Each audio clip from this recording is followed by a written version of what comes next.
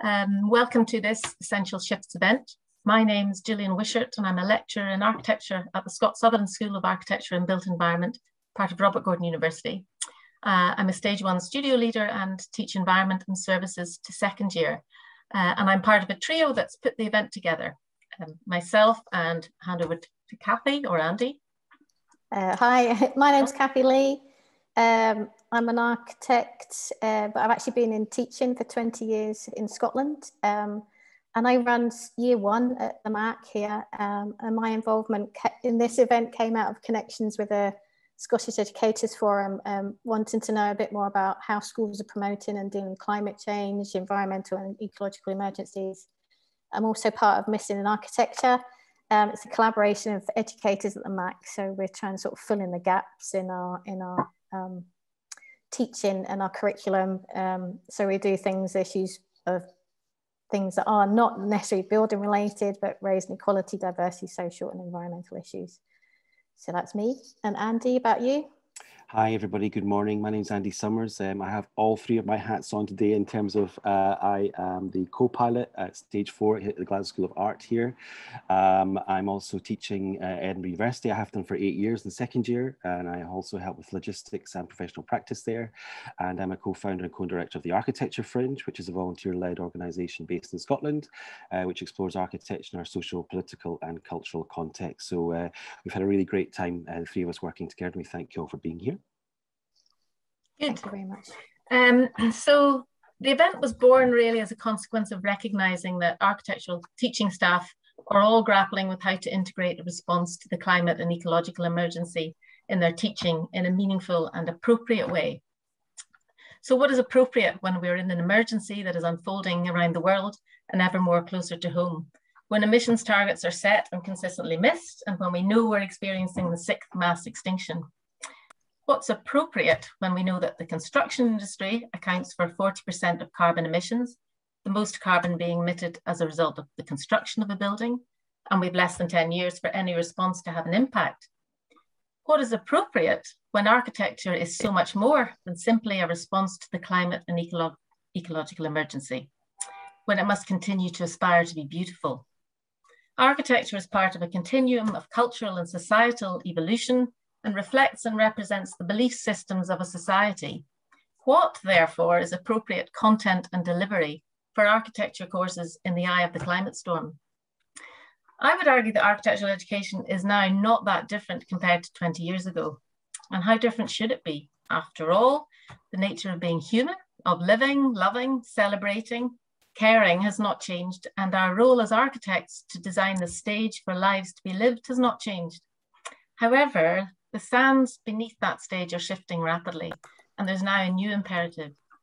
And if we think of the climate and ecological emergency as a new member at the dinner table, a new contributor to the discussion, I think we're all trying to figure out a way to allow this voice to be heard loud and clear, but not to the exclusion of other less quantifiable, but no less important voices.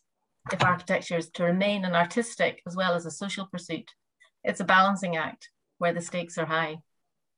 So what we're interested to explore here today as a body of staff and students is how our schools, our courses, our curriculum and our pedagogy might weave this new imperative into the collective understanding, perception, judgments, and ultimately our design responses, whether that be the design of courses, of project briefs, or a piece of architecture. So we're delighted to be joined by our keynote speakers, Sofie Pelsmaker, Essi Nisonen, and Felicity Atekpe, and a wonderful lineup of presenters, each of whom will be properly introduced at the start of the sessions. We have three sessions this morning. First is looking at the bigger picture, the wider responses at institutional and course level. The second is kind of zooming in and looking at responses at studio level. And the third session is an idea sprint, sort of quick fire expose of some projects from around the Scottish Schools of Architecture. And we hope that the, these three sessions and the ensuing discussions will provide rich food for thought and action in the coming academic session. And we'd encourage you all to get involved in the discussions after each session, after the first two sessions. Um, please place your comments and questions in the chat here and also on our Miro board, which Kathy will introduce. And the event will be recorded and the link sent out to everyone in due course. Um, Essential Shifts has been funded by the Scott Sutherland School of Architecture and Built Environment part of Robert Gordon University. So over to Kathy. Thanks. Okay, so um, like uh, all us people who've been involved in education and um, post-pandemic, we're used to the, the Zoom um, function in the chat uh, chat function, sorry, and um, we're probably all used to using uh, Miro, but I'm going to share our Miro board. I've put a link in the chat and hopefully we can start seeing what's uh, how this is set up. So this is just for anybody. If you want to add to this, you can use the Zoom um, chat function if you want. You can put your hand up if you want in Zoom if you want to uh, add any questions or comments. But essentially, if I take you through the uh, Miro board, um, we have our event timetable here. So uh, Gillian's just run through that. But if you want to keep a check on things, you want to just check who who's speaking and when, you can have a look at the event timetable down on the left-hand side. We've got uh, biographies of our key speakers. And then this is the key thing for all our attendees. If you want to, per session, make some comments, that would be absolutely fab. Um, you know, if you've got some key takeaways from the, our three main speakers, and then if you've got any questions or comments, you can put place them here or in the Zoom chat. Um, and session two is set up exactly the same way. And it allows us to record what's been said, um, any comments from all our participants and um, uh, attendees. And then our final session for the ideas sprint. Um, I think this is a good one, it's just a snapshot of, of things that are happening in Scotland. But if anybody has their own ideas and experiences they want to add to our uh, Miro board, that would be absolutely fab for you to do that as well. So that's our Miro board. Um, and if people want, if you haven't used Miro before, you just come in a, a, link through the link and then you can pick up a post-it note I'll zoom in on that and then you can type anything you want. I'll do a blah blah in there. All right, so it's a fairly easy thing to do with a mouse um, if you haven't used Miro before. Okay, that's me on Miro. Okay, and just to uh, double uh, chat about uh, the Zoom here. Um, so yeah, as uh, Gillian and Kathy said, if you have any comments as we go through, please feel free to post them into the chat. If you'd like to verbally uh, reply or contribute, please just put your hand up uh, with the Zoom function if you can, uh, and I will come to you. Um, but yes, uh, thanks again for joining us. Uh, appreciate if you have your cameras on. If you don't, that's also totally fine. Um, but uh, I'll hand back to Kathy, I think, who's going to introduce session one. Okay, all right, thanks Andy, thanks Gillian. Um, so session one, um, as Gillian was saying, we're really looking at the macro level um, for the essential shifts. Uh, we're looking at the school shifts and maybe institutional level or even also wider societal and global levels. Um, we have our, three speakers, Sofie, uh, Essi and David. Um, they are going to present consecutively um, and then we'll open up for discussion afterwards. Uh, if you haven't, I'm going to introduce our guests very briefly. You can read the bios on the, on the Miro board. But if you don't know who Sofie is, and everybody should know who Sofie is, um, Sofie is an environmental architect and educator and researcher at Tampere School of Architecture in Finland. Um, if you haven't got these books on your reading list, you should do. If you haven't read them, you should do. So she's the author of the Environmental Design Pocketbook and essential for all students uh, and young architects. Um, she's a co-author of Design for Climate Emergency. Um, that's a guide for architecture students and, of, and of energy and people and buildings. And um, she's also uh, the co-guest editor of a really important book called Everything Needs to Change. And we did actually go through our, our, titles for the um, symposium and we were going to say every course needs to change, but we ended up with essential shifts. But that was a driver really for for having these discussions. Um, Essi Nisonen is a freshly graduated architect and a creative, currently teaching and researching sustainable housing design. Um, and her passion is to explore and discover paths for transformational learning beyond the status quo. David Vila Domini, who I understand is informally known as DVD, that's the only way I really remember it. um, he studied architecture in Bath, Barcelona, and Edinburgh, and has combined teaching and practice and he's currently course leader in architecture at the Scott Sutherland School of Architecture, which is RGU, Robert Gordon University, where he teaches design in the Master's History and Theory in the, and in Part 1. Um, and he is also a certified passive house designer.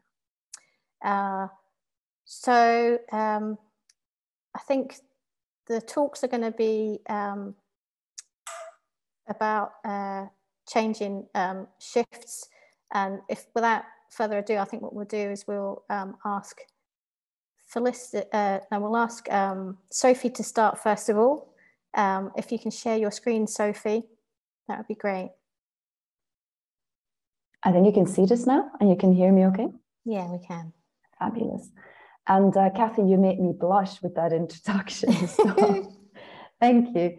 Um, so I'm actually going to give only a very brief 10 to 12 minute talk, and then Essi will follow on straight away. Um, and it's really just an introduction and some thoughts that I've recently been having um, uh, with colleagues as well. So I just wanted to set the scene about architecture and the Capitalocene and the ugliness of unsustainability and what that means for us uh, in architecture and in education. Uh, Kathy already did uh, a comprehensive introduction, but so I'm originally from Belgium and I trained there, my bachelor's, and then the rest in the UK. And I've dedicated the past 20 years to sustainable architecture, studying, teaching, researching, and practicing it. I bring experience from the UK and also from Denmark, and I'm now associate professor in sustainable housing design here in Finland. And I lead uh, a research group called Asutut, a sustainable housing design research and teaching group. And we also have um, uh, research into education pedagogy. So we can bring our research into the classroom, use it as a test bed. Um, and uh, yeah, and so really about methods for teaching sustainable architecture. There you can see some of my publications and um, a one that is co-authored with colleagues at Sheffield University and in Denmark uh, is out, literally the print press now, and should be out this or next week in the warehouse. And uh, some of the work uh, we're referring to um, is featuring in that. Just to let you know where we're based, um, this is Tampere, uh, city of Tampere, sec second biggest city in Finland, um, and about two hours north uh, from Helsinki, the capital. So I'm just going to kick off immediately the climate crisis. So in August 2021, and just uh, a month ago, um, the IPCC released their sixth report, and they issued what's called a code red. The code red because climate change is widespread, it's rapid, intensifying, and in our lifetime, some of the trends that are happening are irreversible, uh, particularly ice melting and sea level rises. Things are also happening a lot faster than the models have been predicting. But the message was also very clear that there's still time to limit further climate change, and at that time is now. The latest report uh, that came out in April is actually almost 3,000 pages long, but the recommendations for the built environment for architecture planning are about 60 pages. And I'll try to do a summary in the next month of that as well. So it's, it's a bit more manageable and very clear uh, points of action. So how did we get to this code red? Well, and I'm massively simplifying because I'm only speaking a very short time. So my apologies for that, um, for making a complex issue seem very simple. But I think it's important that we sort of set the scene and that we um, really understand that how we got here can actually be traced back to the Capitalocene. And the Capitalocene is really the suppression and domination of humans, their cultures, but also non-humans and nature, and all to maximize profit. And that exploitation actually goes back to the colonization of other countries and the subjugation of people and the extraction of their resources. Now, of course, this exploitation was and still is being done by a minority, by some humans. Usually they're wealthy, white, and a lot of the time they've been men. And they continue to exploit the planet and other people. And the other people and the planet then face the consequences of this. And that has then created these deep injustices, environmental degradation and toxification of land, water, and air, and that's now destabilizing the planet simply because we've been doing this for such a long time and at a significant scale across the globe as well. And it's really ingrained in everything we do. So it's not just about engineering our way out and technological fix fixes, but we need societal changes. And I've come to refer to it as from exploitative to restorative practices. Um, what I'll do when the next speaker talks, I'll put some of these links for further reading into the uh, either on the Miro board uh, or in the chat as well. So what does the Capitalocene and all of this extracting uh, and, and, exploitation have to do with architecture? Well, architecture has actually spatialized and legitimized these exploitative practices. If you think about it, who pays for most of the architecture? Well, actually, the sources of money are actually enabling this exploitation and pay for it. Um, we also tend to then focus on the needs and wishes of the privileged few who pay for the architecture we create. And then, of course, the obvious one, the extraction of resources and exploitation of people in the process of creating architecture is a significant part. So architecture was clearly made possible through this exploitation and extraction. And its aesthetics was only made possible through this very same exploitation and extraction. That's why I refer to it as exploitative aesthetics. And these aesthetic values that we still hold today are actually based on this exploitation, but also on this outdated view from the very few in society going back to the early 20th century, if not even earlier. But we cannot create sustainable, non exploitative architecture that's based on these exploitative aesthetics.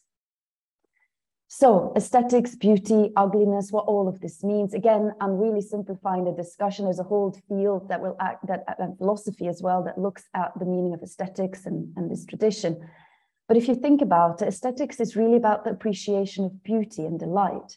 And in architecture, a lot of the time, or most of the time, we've really taken that about pleasing the senses or the mind aesthetically. So it's a visual experience that we focus on in architecture.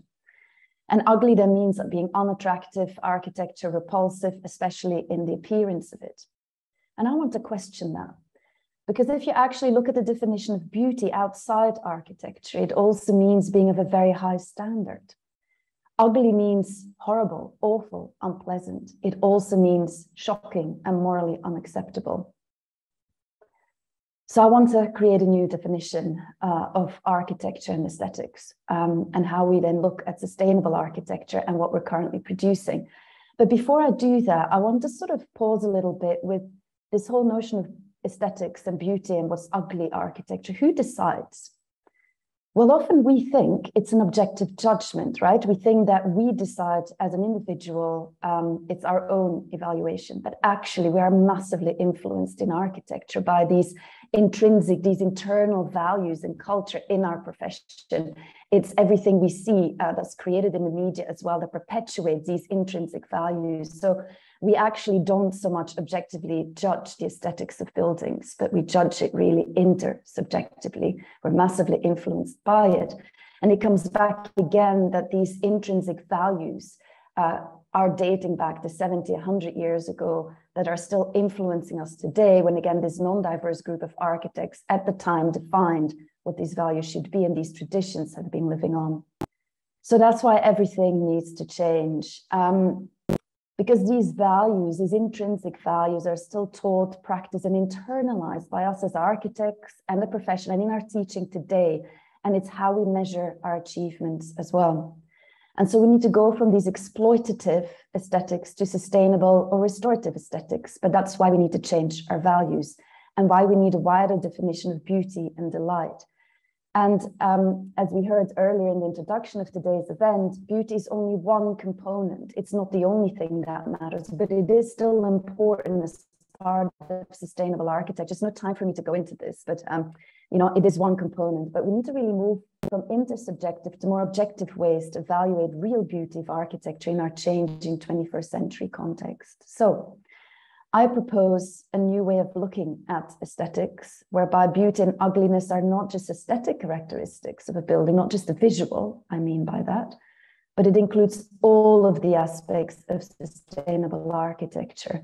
They have to be evaluated objectively, not intersubjectively, that can only be done by architects.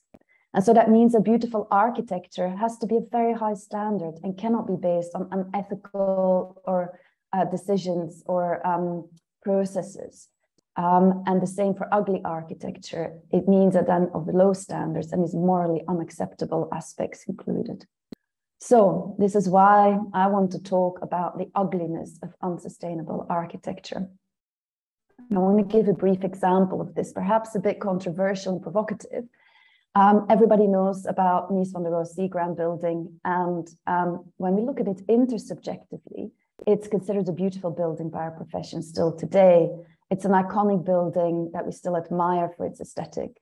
And of course, we have to look at it at this time. It was conceived at a time plentiful resources. It was a, um, a structural and an aesthetic kind of achievement at the time. Um, you know, there were no worries about materials where they came from, about fossil fuels, because we were not exploiting them at scale. And so all of the effects of climate change were not fully understood yet at this time. And so its aesthetic um, reflects this era as well.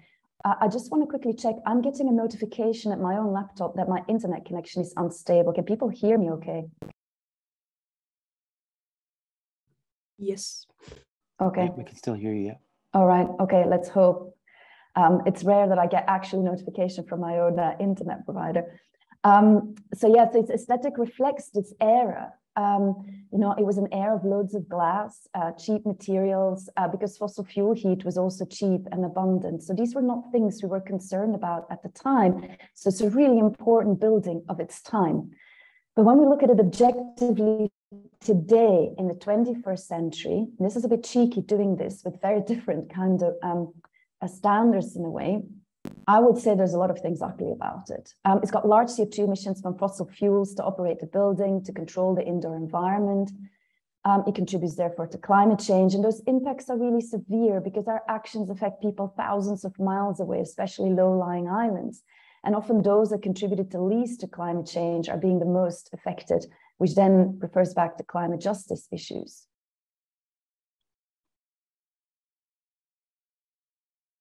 Secondly, it's one of the most expensive buildings of, it, of its time. It's exclusive and excluding. People usually cannot get in, um, they get ushered away.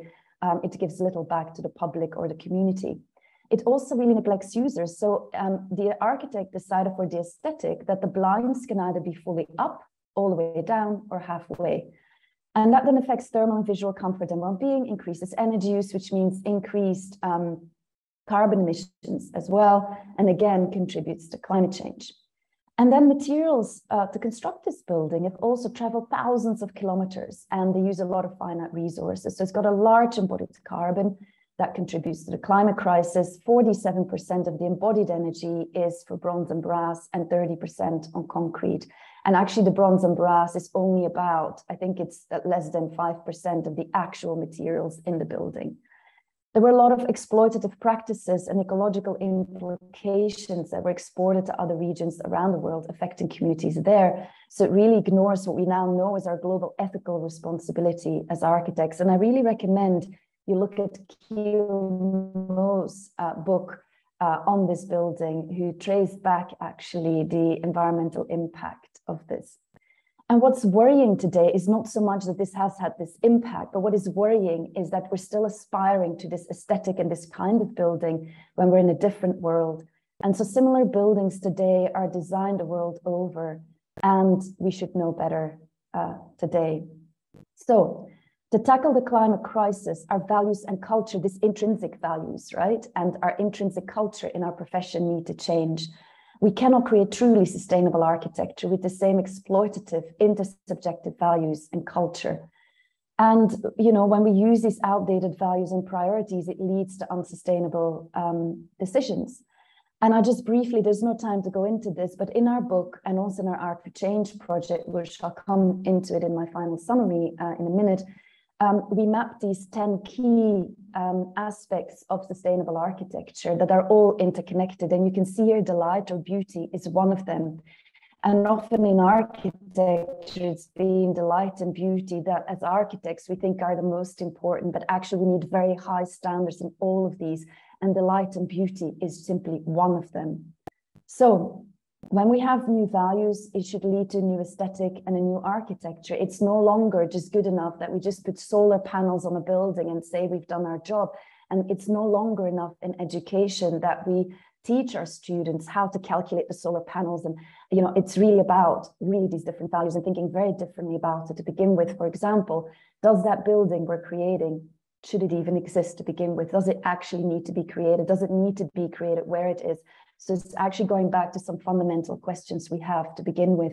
Another metaphor is um, when we talk about replacing um, uh, fossil fueled cars with electric cars, um, yes, it's got less of an impact, but actually fundamentally the values we need to have in our society is we need to think about moving around in different ways in the city. And that's the new values and culture that I'm actually talking about. One example is the Architype Enterprise Center. Uh, most of you know this, I think. It's timber frame, lime render, Infotech cladding, a certified passive house. They did uh, climate change modeling uh, as well to see how it might perform in the future and they also undertake post-occupancy evaluation. And I think intersubjectively, some might, of us might think it's ugly, especially the external kind of new innovation and the way it's being designed. But actually, when you look at it objectively, is a very high standard. There were no unethical decisions made. It includes many of these sustainability aspects as well. And this is where we, when I look at buildings with how I was trained, I might not immediately go, wow, this is beautiful when I see sustainable architecture, but when I learn more, it actually shifts my perception of how beautiful that building is. So we have to stop our current ugly, unsustainable practices because the scale of the challenge means we cannot get it wrong. The time to act is now. This graph shows you that we still, at this moment in time, can decide what global warming we're going to hit and it's really important that we stay below this one and a half to two degrees C Celsius. So we need to really massively change where we are. The current trajectory is actually four to six degrees C Celsius. And the reason why we want to stay below two degrees, ideally one and a half, we're about away at 1.2 already, is so that the ice caps don't melt and we don't get basically um, seven meter sea level rise. But we actually only have a very short time to change and to act. And this was very much the message of the IPCC report that architecture and planning is lagging behind all other sectors in climate action. And that especially in our sector, it's so important that we act before 2030 because of this long lifespan of buildings. Um, you know, and the urban and land use policies that we risk locking in emissions and polluting development and unsustainable behaviors for decades. And again, to stress that technology and engineering solutions alone will not be enough. It's not just enough to change, you know, our fossil fuels to clean fuels. We need new values and be part of creating a new culture that rethinks the way we work. So it's about challenging the status quo. And I really believe that we have a collective responsibility to protect our planet and architecture. And so nothing less than radical change of our values, culture, and practices is required in architecture and the rest of society to avoid this high level warming. Because let's face it, there is no life, no architecture, and we won't care about beauty in a four degrees Celsius world because we will have much bigger problems. So just very briefly before I hand over to Essi, we have this Arc for Change project, and I can see my colleagues from uh, TU Dublin are here, Sarah and Emma, uh, and it's really, it's called Arc for Change. It's really about rethinking education and creating methods towards carbon neutrality. So it's an architecture curriculum and a teacher training toolkit on a digital platform all of this is being produced basically in the next year. And it's not just uh, a curriculum, but also knowledge and tools to change our values and culture in architecture. So it's really about challenging the status quo. And of course, that must start in architecture education. The new book that we have in the print press now is really focusing on this curriculum aspect. And then Essi uh, was part funded through the project to undertake her a master's thesis uh, called Architecture Sustainability Educating the Transformative Practitioner. So it's really about changing values and culture in architecture. And she really tried to unfold the starting points of how to do this in education. So I'm going to hand over to Essi now. Perfect. Thank you, Sofie. I hope you can all hear me well. I'm going to share my screen and put it on full screen. I hope you can uh, see the slides well and hear me well. Yep. Perfect. So, hello everybody, and uh, it's a privilege to be here today to uh, talk to you all. And um, well, I'm going to continue straight from uh, where Sofie ended her talk, and I'm going to talk a bit about on how to challenge the status quo through uh, an idea of uh, designing for democracy. So uh, briefly, really briefly about me, as we were introduced before. So uh, I'm a recently graduated architect from Tampere, Finland, and I'm currently teaching and researching sustainable housing design together with Sofie. And I'm also especially interested in architecture education and the pedagogies of uh, transformation. And I took a deep dive into the matter through my master's thesis, Architectural Sustainability, Educating the Transformative Practitioner. And I'm here today to share with you some insights from, let's say, my own transformational journey towards sustainability and some things and, and values that can, once seen, cannot really be um, unseen. So as has been discussed earlier, currently we're living in an era that is characterized by an imbalance of power, where the maximization of profit is based on the suppression of communities and cultures, non humans, and nature. And as we all know, this tradition of ignorance is at the heart of the climate crisis, too. We have positioned ourselves to the top of hierarchies, and humans understand and explain the world around us. We unveil its logic and we control it nature is a complicated system that can be managed through rational planning and the use of science and technology. And there is really nothing peculiar about the fact that our education reflects these values too. We learn values and beliefs and praxis from our own life, the society around us, our education, and then we pass them on. Higher education institutions train citizens to be a part of societies and, and to work uh, through their inner logic. Currently, we're training people to deal with the status quo. We develop useful skills, we alter our actions to reach desired outcomes, and we become problem solvers. There's always something we need to react to, something to fix with a better and more innovative solution. But of course, the reason why we are here today has been born out of a somewhat alternative perspective, a much more urgent one, which on some level is related to the climate emergency, but on many other ways to something much broader, there has never been a time in history where it is enough to learn how to deal with the status quo. It has always been far more important to learn to see beyond it, as it is really the only way to move forward. And in this case, we need to learn to break out from the tradition of oppression and inequality. And in architecture education, the partially unconscious internalization of these societal values has resulted into highly undemocratic traditions in our learning cultures, which really prevent the necessary transformation towards sustainable values, beliefs, and actions. And in a system, underlying goals and values and cultures uh, shape the everyday actions of individuals. And then in return, these actions influence the underlying structures. So integrating sustainability in architecture education and in the design studio calls for both tackling these underlying values and behaviors of students and teachers and delivering sustainability knowledge and concrete tools for um, actions. So in order to change our values and praxis, they need to be challenged. And in order for them to be challenged, we need to share them with others. And Critical thinking, which is necessary for sustainability, is effectively developed in conversational and collaborative learning. Many know it with the name of, for example, peer to peer learning, where opportunities for shared, equal reflection and meaning making are fostered.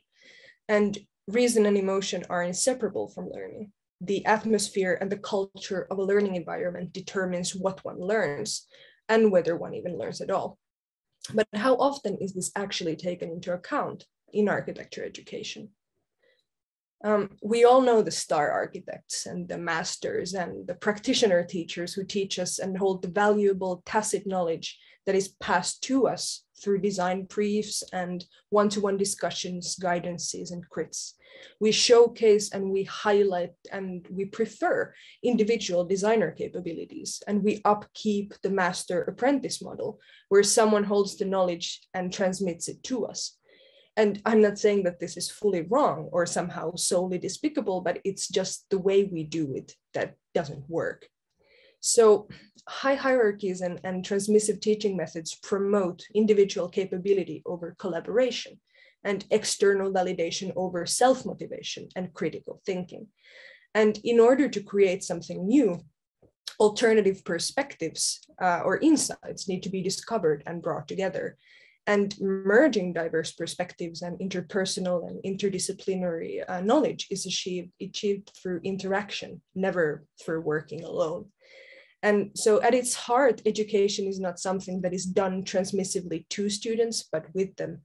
And learning is a profound human relationship that allows for both students and educators to feel recognized and valued and empowered. Contemporary research widely acknowledges the benefits of collaboration and communication as a means to encourage transformational behavior.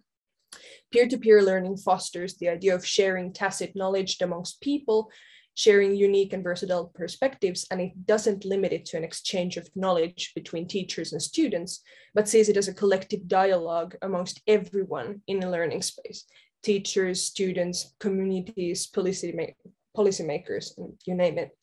So at its core, when it comes to design, creativity shouldn't really be seen as a correct characteristic or a skill of an individual designer, but as a shared experience that motivates problem posing and problem solving.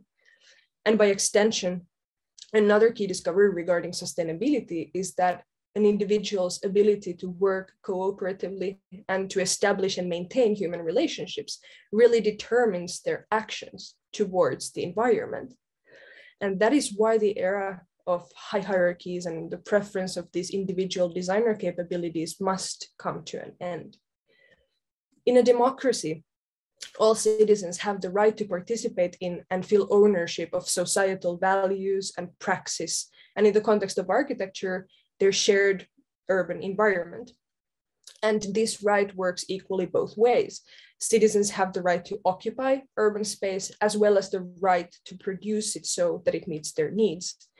And this notion is crucial. In a democracy, individuals have the right to be involved in decision making that affects them and the common good. And by extension, this means that architects are given the responsibility of representing other citizens and their needs rather than assuming needs and excluding some people we design for. And this is why the ways we currently ask questions in architecture, how we pose problems, is also in many ways deeply flawed. Our designs are based on the idea that we assume people's needs, and we often do not have the chance to understand why something is done in the first place and we do not fully understand the starting points of our design projects or the communities, factual or fictional, human or non-human, that our interventions concern. And besides reflecting the current dominant situation in practice, where the starting point of design is a set of interpretations over users' values, usually made by someone who represents the users, not the users themselves, and where the designer rarely has any means to reinterpret those needs or even know their origins, nor establish a dialogue with the people who are directly affected by the design. The tradition of top down problem posing is an extension of our current preference of transmissive hierarchical learning cultures. We assume that individual designers have the capability to interpret and understand the needs of diverse, complex user bodies or communities without consulting their needs, as if architecture education would somehow give us the tools to play God. And in its current state, what architecture truly spatializes are the exclusivity of capitalism and the needs of only a few people. Instead, architecture should be an inviting, inclusive, and unintimidating spatial framework for the coexistence of humans and non humans and people's lives and to host slowly private functions should always give something back to its environment or the communities. And in order to promote democracy through problem posing, problem posing should be a holistic and participatory collective effort, bringing together versatile insights from students, education, educators, and other stakeholders. And this kind of non-exclusionary and low hierarchy approach to problem posing would help students feel that their experiences uh, are valued and that they have ownership over their projects and their designs. Critically position them motivated in transformational thinking against the status quo or beyond it. So to fully integrate sustainability in the design process, we should choose to mimic real life in a different way. Instead of spatializing the inequality and exploitation of the Capitalocene, we should be spatializing democracy and inclusivity. Architecture education needs to actively break out from its outdated traditions that are unfit to promote sustainability and move democratic and experiential attitudes. Students should be actively given tools and possibilities for not only understanding the past and the present, but discovering, pursuing, and celebrating alternative and in the future, the goal of architecture education is to enhance students' civic responsibility and position themselves in the surrounding society and to teach students to spatialize and support and celebrate uh, democracy and inclusivity, it could be argued that the whole purpose of the existence of architecture education is not to create sustainable architecture, but to be a tool, one possible language amongst many for the expression of sustainability in general. And if we are brave enough to open our minds and encounter all these new ideas and perspectives and together challenge the cultures and the values we've been taught and which we live, we will be able to change. Our unsustainable practices are not final, but they can be transformed. And we all have agency and we can all learn to gain more of it. And in the end, we can all uh, become transformative practitioners. Thank you.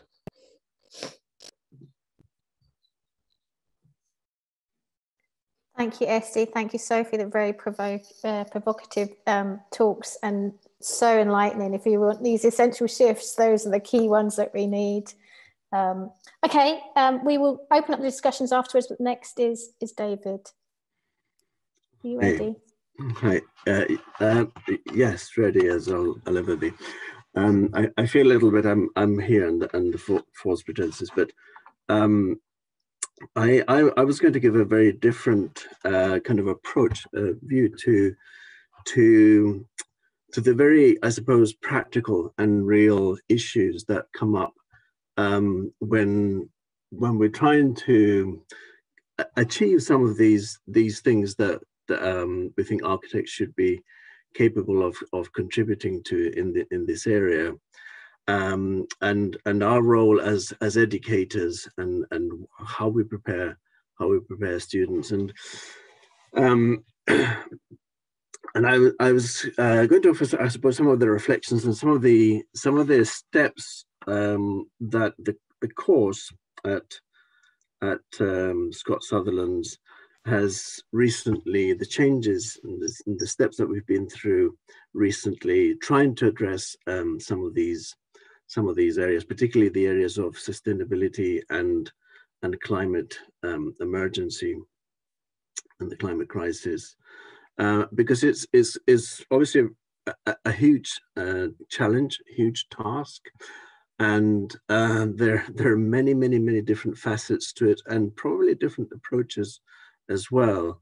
Uh, and I think um, our, our, two previous speakers have have touched upon things which are uh, of of uh, fundamental uh, importance, but also very general and quite abstract, and and sometimes that can that can be um, very challenging to to achieve in the context um, of of a you know of a course which is limited in scope, limited by resources, etc.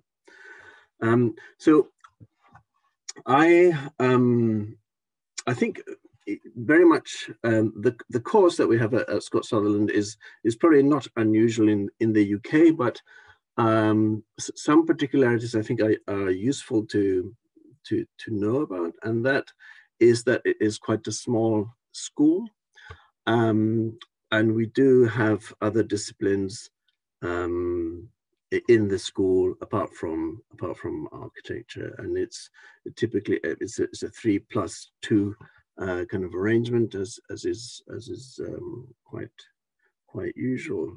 And the the two the two parts have a very different character for those uh, who, who, may have a different a different system. And and certainly in the in the what we call the part two as uh, following the RIBA, the RIBA in our prescription the the master's course certainly encourages the student very much to to find their their own way and and we hope uh, we hope that we provide that we provide um, um, a framework for them to do that. It's a unit system.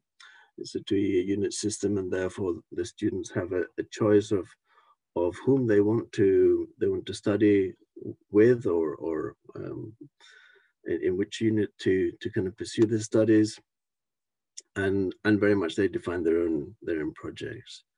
And so the part one um, by contrast i suppose is is a lot more the education is a lot more directive and, ha and has been and and um, very often I'm very much concerned with the development of of skills.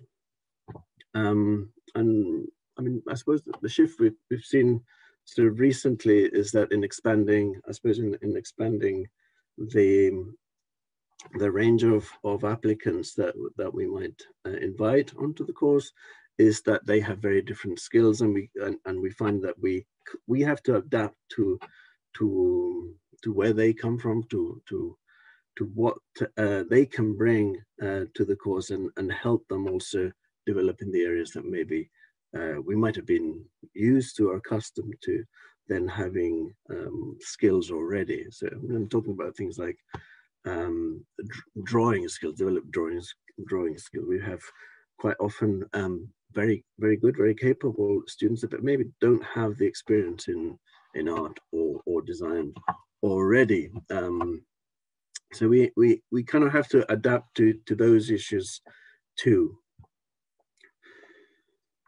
Um, so I hope that's an, that's an undercurrent that, that we're adapting to as, as well. But in terms of, in terms of the, the, the climate emergency um, shifts, it's obviously something that's been happening for a very long time, something that uh, scientists have been telling us for a very long time is happening.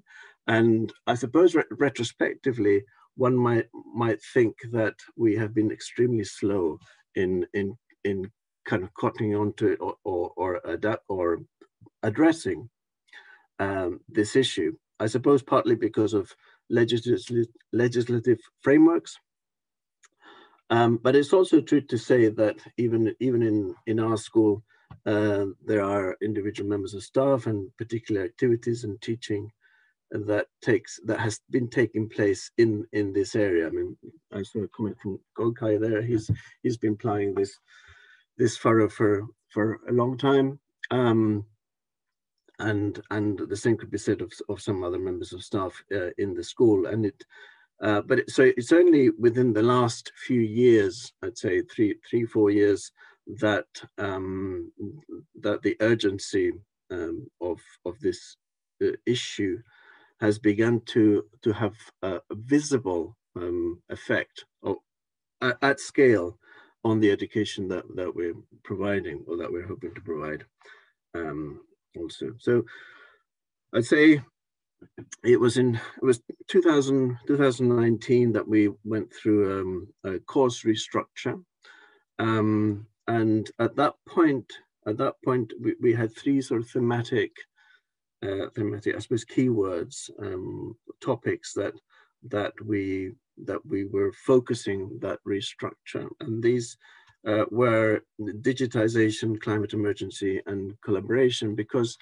um, and we think these are actually very closely related. In fact, so when we're talking about um, when we're talking about climate emergency, very quickly um, becomes evident that digital tools are, are going to be part of at least the technical aspect of, um, of, of, design uh, to meet certain performance uh, targets and, and um, etc. So, um, so, so two years ago, we went through a whole course restructure uh, in which we began to in, introduce um, um, the subject, I suppose, much more directly, in particular, uh, I think Gillian, Gillian Wishart is part of our, the, the organizing team for this uh, symposium, um, developed the, the, the, the module that we, they take in, in second year at the moment, um, which is essentially based around low energy design. It takes on a, a lot of the,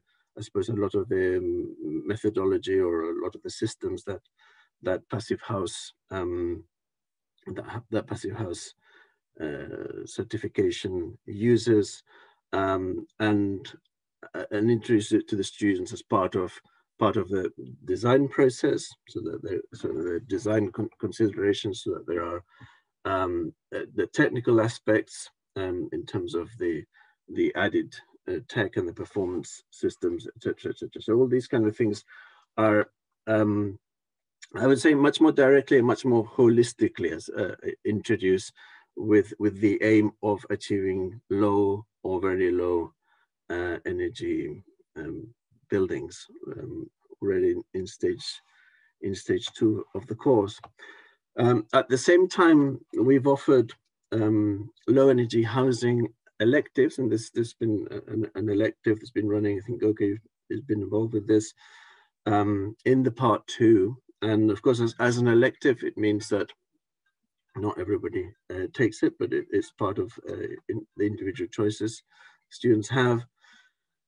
Um, and um, and uh, just recently, I suppose, in response to to the RIBA knowledge schedules that have been published more recently, um, we're undergoing a, a further uh, course restructure, which builds on or, or takes kind of the, the first steps that we that we introduced a couple of years ago um, further still, so that so that the the whole uh, um, theoretical background, I think, about climate change is is introduced um, right from the start.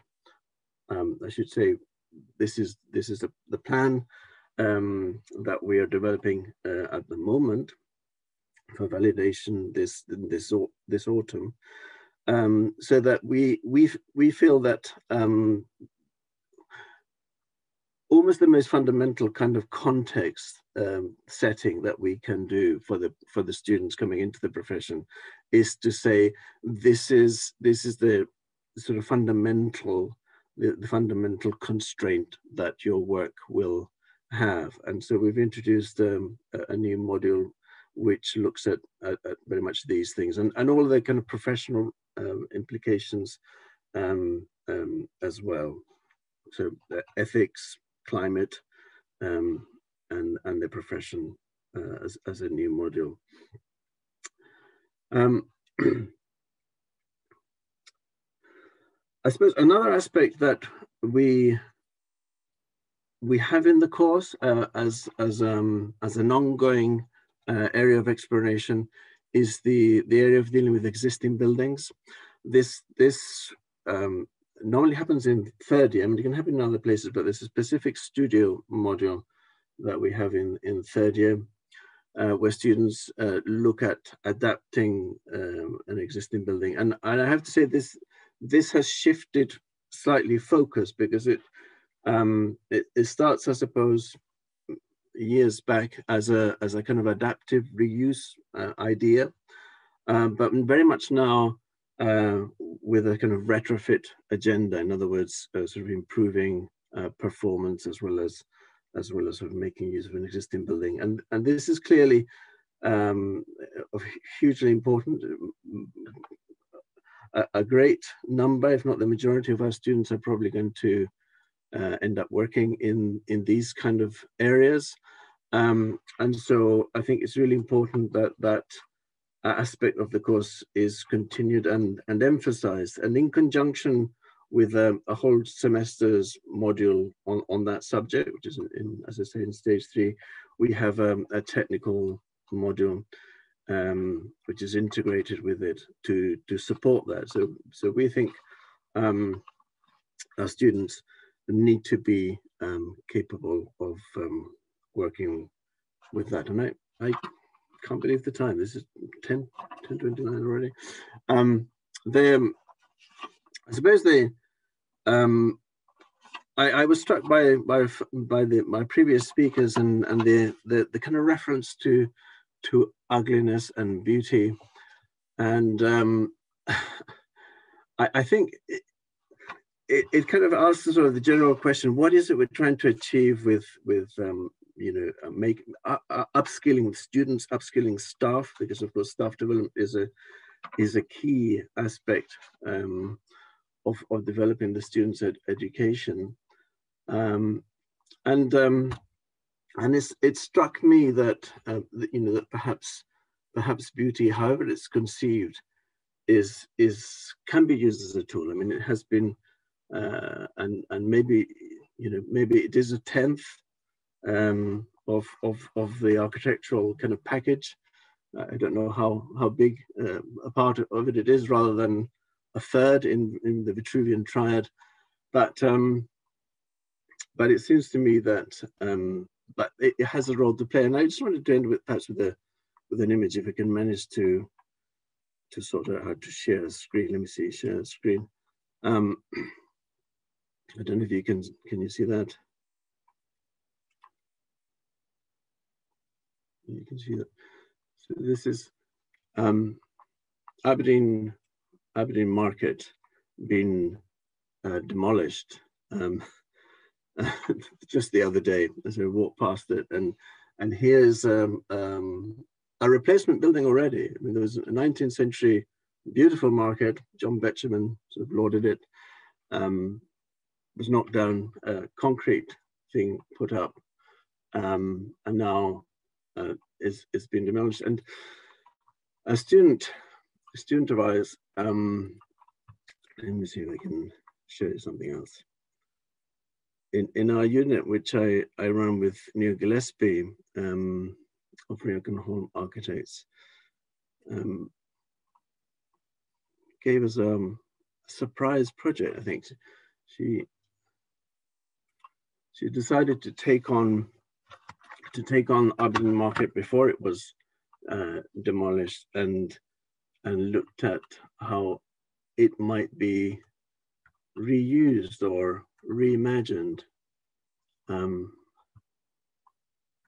and I think she she she kind of made these rather intriguing kind of montages of Palladio's and Basilica and Vicenza um, with with a kind of re reimagined structure of the of the the concrete building. Um, and I think for me that kind of captures the possibilities, I think, and perhaps the, even the duties of our uh, architect students going out there because the case needs to needs to be made and needs to be argued for for these buildings which are some some of them are are ugly twice as they are and they need to be i think they need to be beautified so that we don't um so that we don't knock them down which is as we know is a is a big crime so I'll, I'll stop there. Thanks very much. Thanks very much for all our speakers in the first session. Um, I think there's a wide ranging uh, a, a, number of issues covered here, and I think what's what's really key is architecture, as we've previously seen, has only been about buildings, and we need to expand and, and think about the environment and, and society much much wider. So it's a it's a huge thing that we need to cover. I have a question to start the conversation. Um, and I suppose something that David's brought up in his talk is that most of us are dealing with a clean slate, not dealing with a clean slate when it comes to our institutions. So in an ideal world, how would you structure a brand new school? Because I think those are the, the difficulties we've got if we're talking about transformational education and transformational way we practice architecture. How do you think that if we're in an ideal world, how would we structure our schools in order for that to happen? I don't know if Essi and Sofie, whether you wanted to answer that. Maybe if I, I have some thoughts on that, because just on Monday here at the Tampere School of Architecture, we had a whole day of um, workshopping around our curriculum. And let's be honest here, it's hard work and it's going way out of our comfort zone, especially for the majority of us. And I think we have to acknowledge that. Um, and I also think that um, that most of us don't realize how much we actually have to change. And it's something having worked for 20 years. I was one of the people teaching all of the like doing more sustainable buildings. And then I realized, you know, and, and like, you know, giving the content, the tools and environmental design and making upfront right decisions and then I realized in the last few years that why are we going so slow is because we're actually still making those decisions as a tack on, an external kind of you know, way. And we're still producing buildings. Like I think also Essi was trying to bring that out. Um, we're still producing buildings with these old values and these old methods and old techniques and old ways of thinking. And that is something really hard to shift. And so actually, I think provocatively or controversially, when you end up going into year one, uh, so first of all, I'll tell you also to deal with some of the comfort, um, going outside our comfort zone, is that we are now trying to create three versions of a change of the curriculum of the whole five years. One is a soft, like acupuncture. What can we do as immediate fixes? Um, is that enough? Is that enough to change the values? And then uh, one is really a radical change, like a, some called it a revolution in how we teach, and then something in between and we probably have to, even if we want the radical change, we probably have to actually step to the other parts to get to the radical change anyway. Um, but the key is, is I think what I've come to realize, and, and I'm sure others will have opinions on that, is that actually instead in year one, whereby students immediately get into small projects and building, we actually need to teach them perhaps almost no building at all um, controversial, but maybe that first year is about the role of the architect, who we serve, the honor we have to serve the public. Um, not, oh, we just want to make this building because we can. Uh, that it really shifts the complete attitudes and uses these democratic processes that Essi talked about and diff these different ways and peer-to-peer -peer learning rather than this master apprentice kind of model. Because once we don't set that in year one, it's really difficult to change all of that thinking and way of working in the later years. And we're finding this that our students in year four, oh my God, I wish I could go back to my year one project, year two, year three project, and I would do it totally different. And it's very difficult, even when they get it, it's very difficult. It's almost like we brainwash them to work one way, and then we're trying to unbrainwash them when they get to master's level. And it's really, really difficult to do that. So I think in year one, we almost have to flip some master stuff, this uh, higher intellectual societal thinking has to perhaps come much, much earlier. And then the building and construction. And because then once that once the students have that knowledge, when they then look at the repertoire of how to select materials, they're going to look at it very, very differently rather than, oh, well, I have a list, tick box, you know, that they otherwise get. And I think it's completely shifting it the other way around. So, but that's where I am at the moment. And it's a very dynamic process of learning and figuring this out as we go along. I totally agree with you there, Sofie. I mean, we, I, th- I think year one is always the year that is seen to be the least important, and I think it is the most important. It sets the scene right the way through, and every emphasis is on masters and, and the graduating years. And I think you're right. It's it's, and that's where that transformational change can can take place. Um, Essi, did you want to come in on that? Well, yeah, maybe uh, just to uh, follow on that I think one of the key things is that some something that is not really often present in how we teach and, and how we, we learn architecture are really the the practices and the values. And, and quite often when we talk about sustainability and, and integrating it and implementing it we think we can use the same cultures and the same design processes as we always have to do that sustainable thinking. But it's not possible when sort of we have this idea of these hierarchies and and things and then we should be somehow designing equal sustainable things through those hierarchies. And i think that's something that as Sofie was saying in the beginning of our school we should really already learn this culture of mutual respect and sort of this culture of like well critical thinking and arguing for what you do. And because at least at the moment we often just start to do design as Sofie was saying. And I, and i think that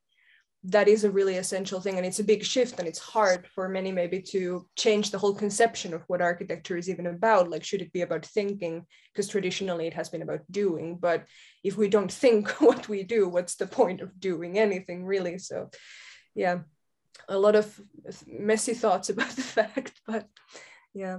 Um, maybe can I just jump in and, and and thank you very much, Sofie and Essi and David. Really interesting to hear your thoughts, and it's really interesting to hear you talk about the idea that thinking is what architects really have to do because it's very much in my mind that you know we're so much of what they do is making buildings and yet we know we need to make fewer buildings um, and actually if the architect wants to remain part of the whole construction industry or how we use buildings they probably need to become really imaginative thinkers rather yeah. than constructors. Um, but at the moment, um, that, of course, is a massive cultural change as you're talking about, but it's really refreshing to hear you talk about that. How do we do that and still actually tick all those flipping boxes that we have to do by the end of third year? Um, and I don't want to put a negative in that, but it, it's just it's really great to hear that spoken about because I think that that's you know that is the real shift if we wanted to be actual agents in terms of tackling this whole situation, then the architects as creative thinkers and collaborators could be really valuable because they won't be particularly valuable if all they're interested in doing is making buildings. Um, yeah, thanks. If I, yeah, I sorry, David, you might want to jump in as well, but I uh, I completely agree with you, Gillian. Um, that the thinking is so important. And actually, I don't think it jeopardizes anything at all of the ARB and the RIBA criteria. You no longer have the EU criteria, we still do, because there's so much, there's so, even the, the changed ARB and RIBA criteria, they're still very generic, actually. And there's so much room you can maneuver in that. And you have three years to play with. And actually, I have a suspicion that when we teach architecture in a different way, and uh, sustainable architecture that as Essi said in a way we still talk about sustainable architecture in a way it should be just good architecture and part of everything we do and it's just a way of achieving a sustainable society. But if we teach in the right way i think it will massively help students learning better and easier making decisions about everything else. So it actually supports all of the other processes that come after.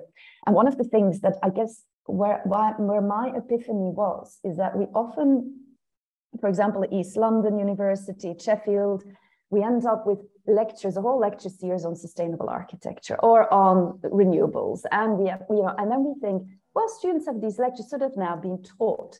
But then actually, when you do pedagogical research, you find that you, that's not how students are going to learn and be able to apply it into their own projects. You need very specific teaching activities that lead to learning activities and learning in between the classroom, which is also, I think, David, what you picked up on as well, that um, this notion of digital uh, uh, learning and stuff, that actually one of the things Essi also found with Arc for Change research, Sarah and, uh, and Emma are here, is also blended learning are really good ways of doing it. So we spend our time as teachers in the classroom, face to face, for the really important stuff of discussing what they learned outside the classroom, pre recorded lectures or readings, and then applying it and helping them apply it and to think about it and ask questions.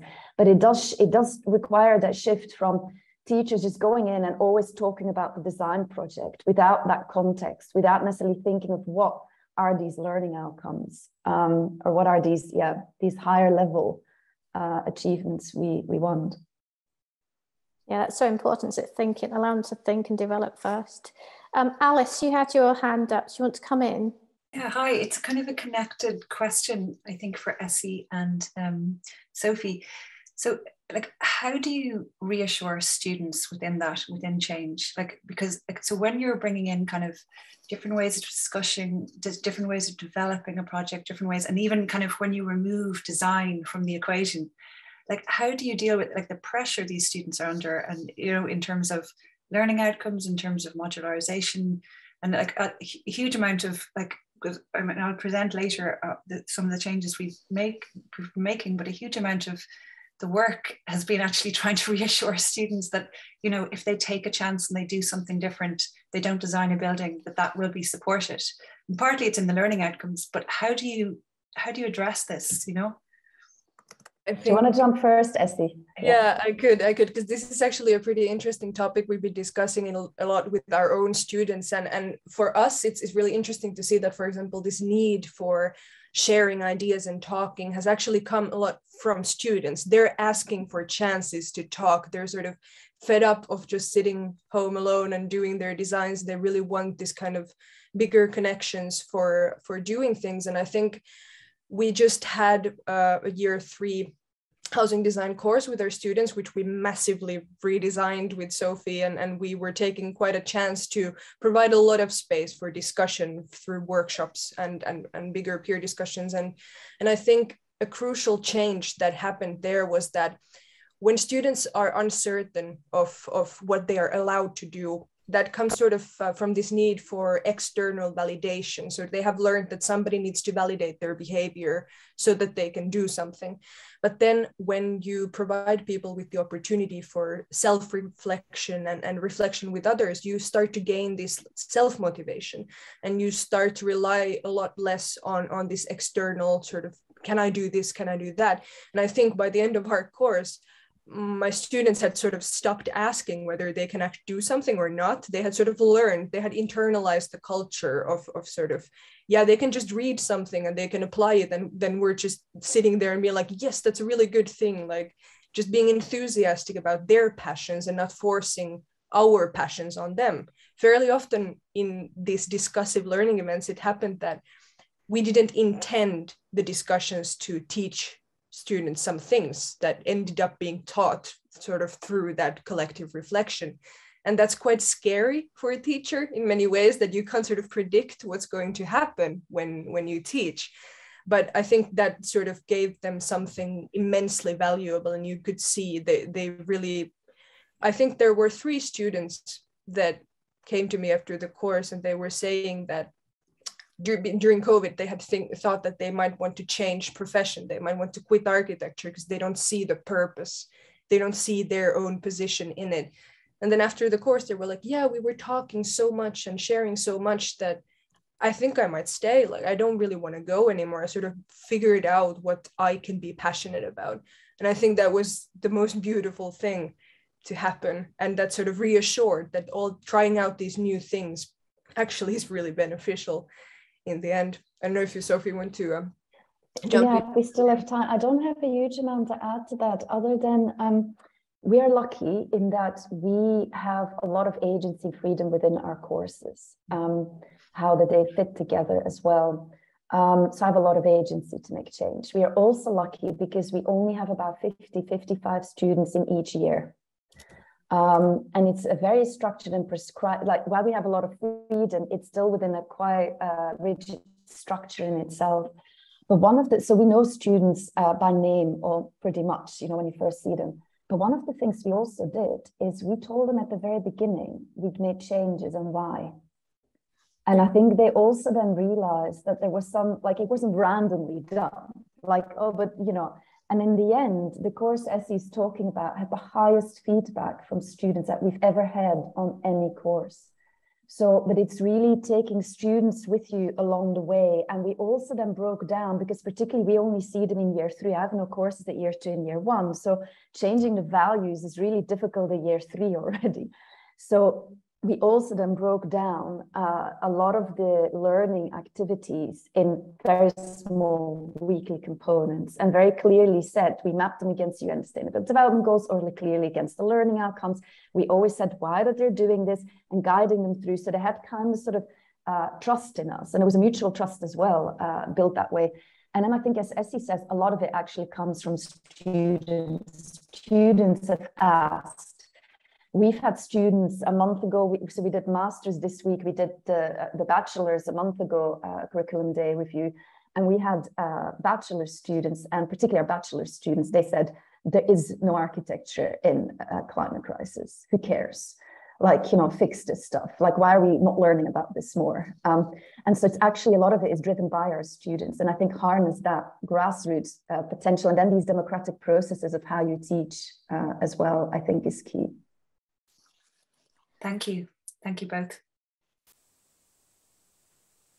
You know, a, a big provocation to, to uh, education is that perhaps there is no architecture in early years and we just you know you just see the big picture before you dive in i mean that's, that's a but actually uh, yeah it's a really interesting way of putting yeah. it yeah but maybe it's even uh, kathy maybe it's even what is architecture i think that the climate crisis changes it i always saw that architecture was building but actually, some practices focus on participatory processes to enable sustainable development to happen. Some practices focus on post-occupancy evaluation. There's some focus on research. There's so many different ways to be an architect. And I know RIBA 1 and part 2 have got very specific criteria, but we don't teach enough of that. And I'm looking forward to hearing Felicity, you talk about this, because that's sort of like the, the trajectory at part 3 as well, right? Like what are the different trajectories that that that architects get at. And I think we don't teach enough about the transferable skills and the needs elsewhere in society of what architects can contribute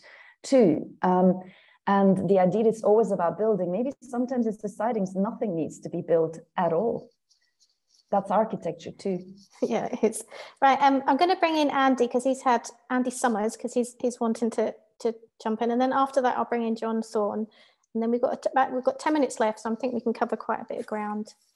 We need to pick up after that. So Andy. Thanks, Kathy. Yeah, just um, uh, just wanted to share uh, an article that uh, Kirsty Lees and I are kind of referencing as we kind of go through the kind of thoughts that as we change the stage four course for the next academic year here.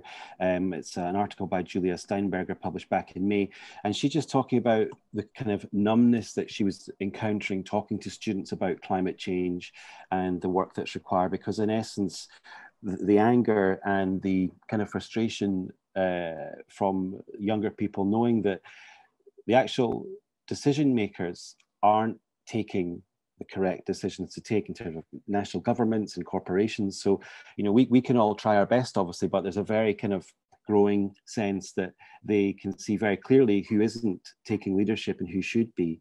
And we're just sort of looking at this article as we go through the curriculum here, trying to kind of think about how we also share and talk about the power dynamics that go on within and around architecture because obviously as a profession i think we could be far better at really understanding our context better and also the vested interests that we are having to engage with beyond our kind of um, professionalized focus.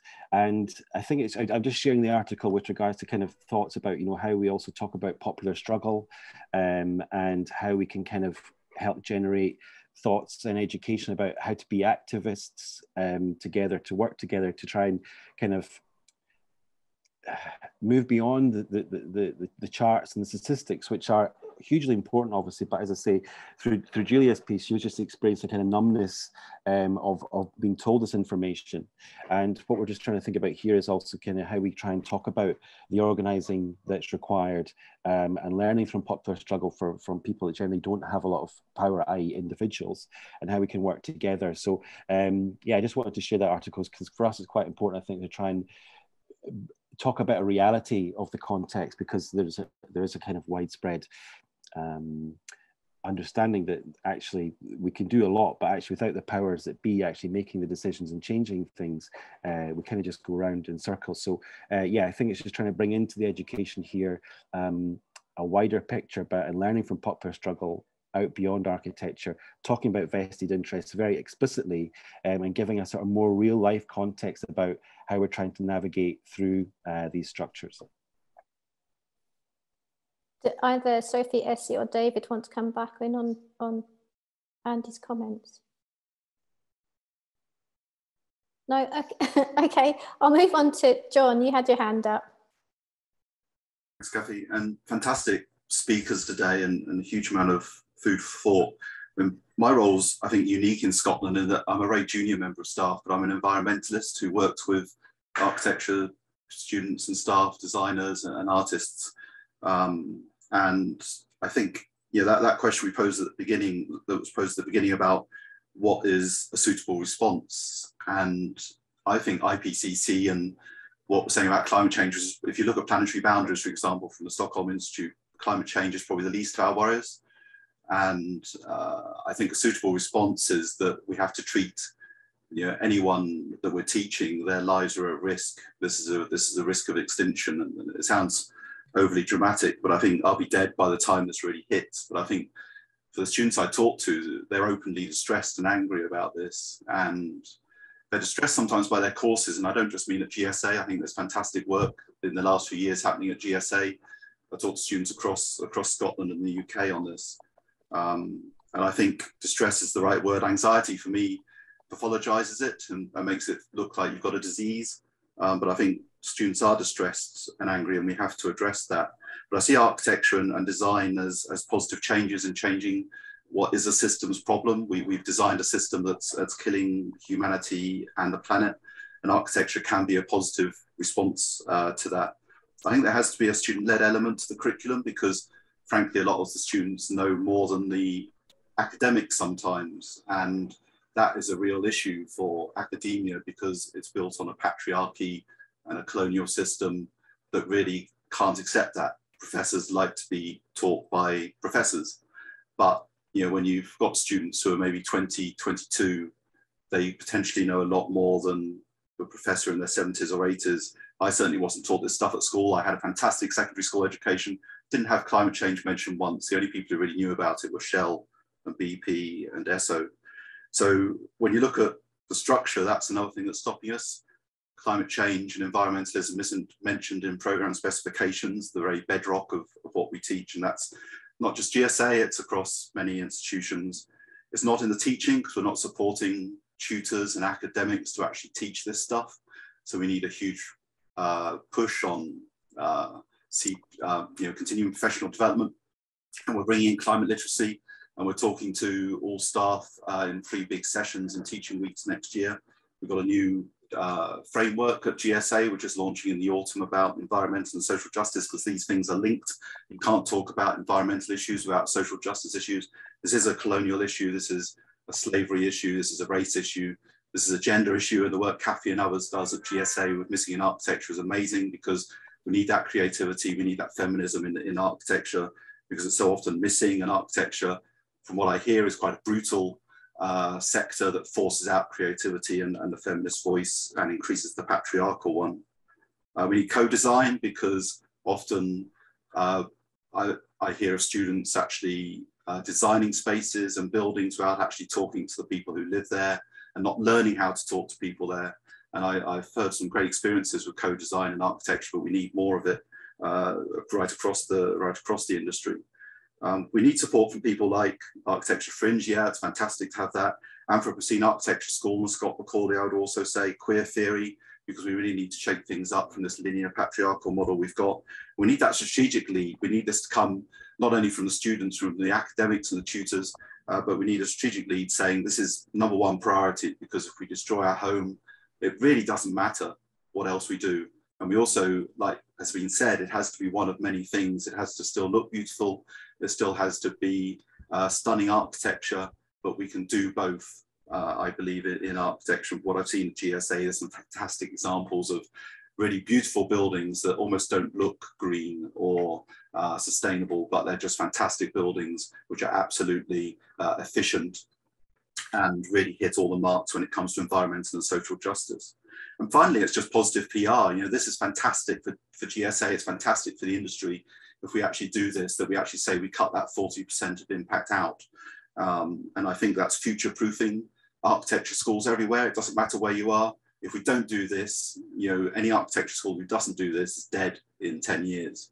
So I really want somewhere like GSA and MSA to be a fantastic leader in this, to be cutting edge, for it to be challenging, it for, for it to be uncomfortable, that we actually have to ask, you know, maybe as academics who've maybe done 20, 30 years, that we have to ask students who are 20, how do we do this?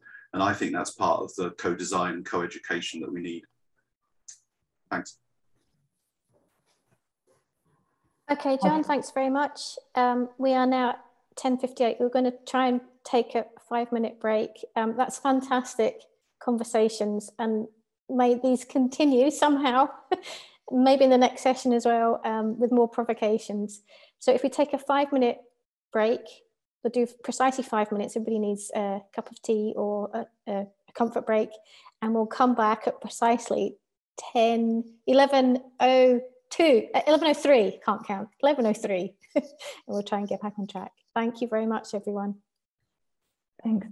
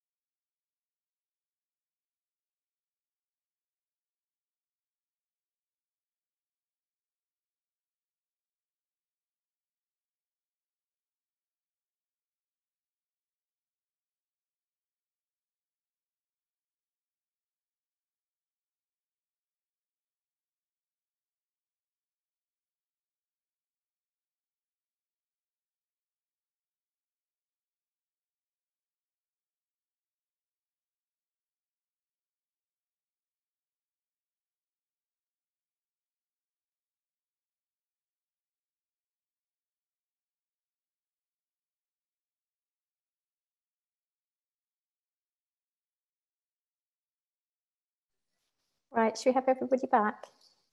Sorry, it's such a short time. the more discussions we can have. okay.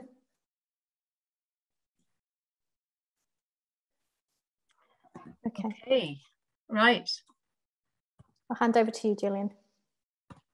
Sure. So, um, just finding where we are. Yeah, so we're now moving into the second session of the morning, which is entitled Studio Shifts. First, we're going to have a, a keynote talk from Felicity Atekpe, and then we'll have two presentations of studio projects by staff and students from ESALA and UCD. I'm going to introduce all the speakers now rather than interrupt the session. So uh, Felicity Atekpe is an associate professor and director of professional practice at Bartlett. She's a practicing architect and founder of White Table Architects, specializing in sustainable design, interiors, architecture, and landscape. Her academic interests include innovative pedagogies, ethics, and alternative routes to qualification and equitable urban landscapes. Felicity has 20 years experience as an educator and has taught and examined widely in the UK, including at the Bartlett, Glasgow School of Art and Cambridge University. Following Felicity's talk, our first project presentation is from ESALA, Edinburgh School of Architecture and Landscape. Staff members Simone Ferracina and Dr. Moa Carlsson Simone is a lecturer in architectural design. His research and teaching interrogate alternative design ecologies, invention and consumption, and his interests include the reactivation of wastes. Dr. Moa Carlsson is a lecturer in architectural design and her research includes the history of 20th century infrastructure, computer mapping, and information technology in landscape and urban planning. They're joined by students Sonakshi Pandit and Joseph Sims. Following that, uh, we will have a project presentation from UCD, University College Dublin, staff members Alice Clancy and Robert Wightman. Alice is Assistant Professor and Director of Teaching and Learning at UCD School of Architecture, Planning and Environmental Policy. She's an architect whose practice involves architectural education, photography and curation. Collaboration is at the heart of all aspects of Alice's practice. Her photographic work has been widely published and she worked on the curatorial team of the 2018 Venice Biennale led by Grafton Architects. Robert Wightman is a practicing architect and a design fellow at UCD. He also teaches at the University of Limerick and on the joint programme run by Dundee University and Wuhan University in China. And they're joined by students Aoife Casey and Owen Gurran. So without further ado, I will pass over to you, Felicity, to start the session. Thank you. Thank you very much. Can everyone see the screen? Let me just try and view slideshow. Yes. Um, so I, am going to apologize before I start because what I've done is reframed a, a global view, particularly in relation to um, pedagogies, architectural pedagogies. And I'm actually going to read um, just because I, I, think people learn just as well reading as well as talking. Um, and if I start by saying we all know that architectural education in the UK in particular embraces a wide spectrum of knowledge underpinned by a requirement for multiple perspectives and ways of teaching that enable students to be taught empirical information as well as art and finally the impact of their design on um, in terms of psychology and sociology. However, I think the premise of this holy grail of education is fraught with ambiguities and conflicting responsibilities. Firstly, to effectively and with equity achieve the broadest aims of the education, the profession must reflect society and allow the most diverse representation of the world. Secondly, these ethical issues have fundamental implications on how we teach design. Sustainability, under whose umbrella ecology and climate emergencies lie, is a threshold concept. The word is problematic and too familiar, so students and educators don't take on its threshold implications. We need to reframe architectural education as an ecology. Paying attention to students' environment and influences could also help students make sense and navigate the wider world. Sustainability must be understood in these contexts to really affect radical essential shifts in how we teach the architectural curriculum. To address its implications, we need to move from a mentality of abundance to scarcity in every aspect of our thinking.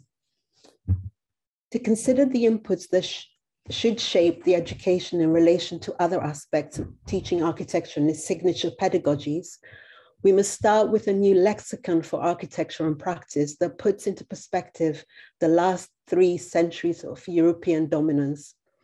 This is understood as an epoch of inequity based on abundance and couched in a narrative of survival of the fittest. A new pedagogy should put humanity back in its rightful place as the mammals we are and develop a creaturely pedagogy that pays particular and equal attention to all other species on our planet. This new pedagogy needs to address equity by acknowledging that we, not, we do not all start from the same place and adjust the imbalances at the start of an architectural education. We need to have a holistic view of design and critical thinking to include more explicitly the technical and cultural context in a more integrated manner so that it reflects evolving art and scientific thinking and the implications of Darwinian theory as it is not the strongest in, of the species that survives, but rather that which, which, which is most adaptable to change. It is therefore never just the survival of the fittest, however, it is survival of an entire ecosystem. Adaptability, not strength, and biodiversity is needed for adaptation to change.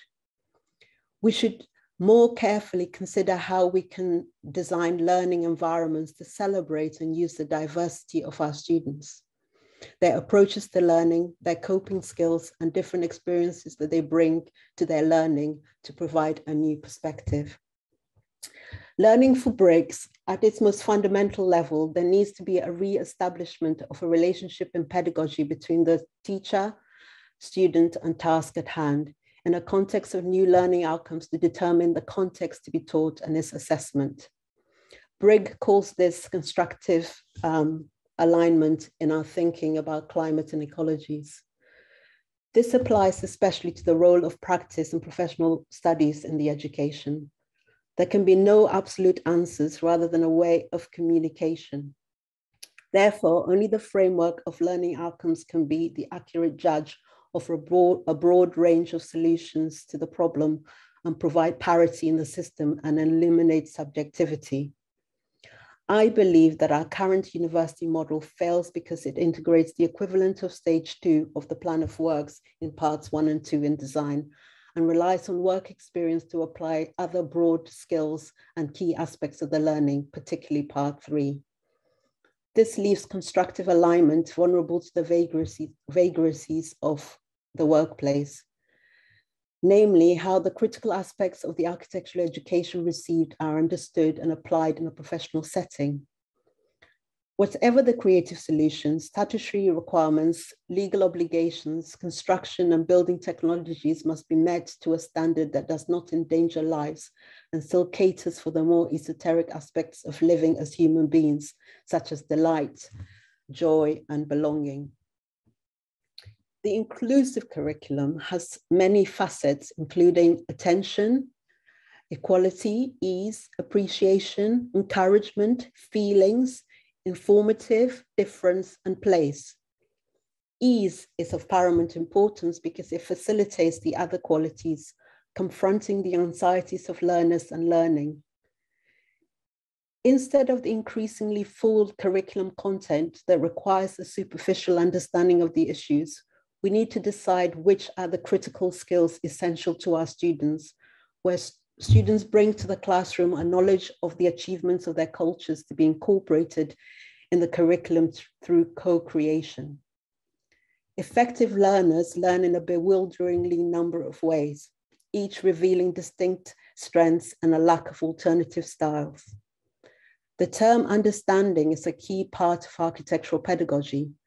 The term relates to the amount of knowledge that someone has acquired throughout their education where they can have more informed options upon how to achieve a defined result.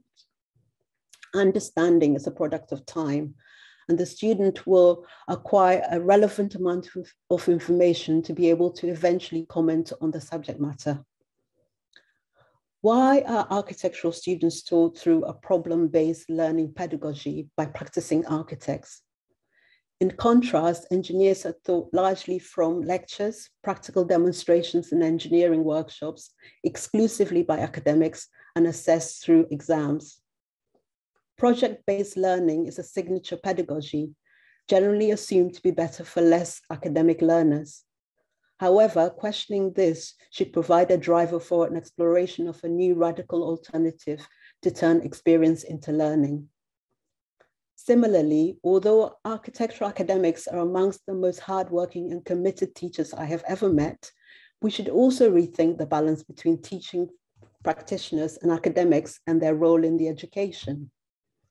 Teaching academics and practitioners with the least training, preparation, oversight, staff development, familiarity with institutional processes and values have the largest influence in the student experience through studio teaching we need to pay greater attention to what learners are interested in and also how they learn to design the new curriculum.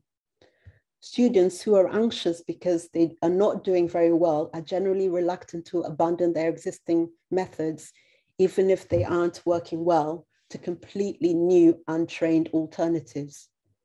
The sentence above feels like an applicable one for our current architectural education. In particular, the attention of the education needs to refocus on the problems with our existing assessment me methods, which introduce far too much subjectivity into the process.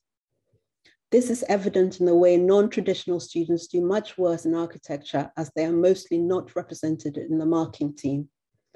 So far, peer-to-peer -peer reviews and self-reflection have been an invaluable way to address these subjectivities to create a culturally responsive responsive course context. We, can we think of new ways of assessment or at, least, at the very least adopt tried and tested solutions from other pedagogies? It is very important, therefore, that students are supported and encouraged to explore the potential of the academic freedom that they are provided with, while inhibiting a safe environment that allows them to experiment and fail. It is no coincidence that students of architecture suffer the most psychological problems during their studies.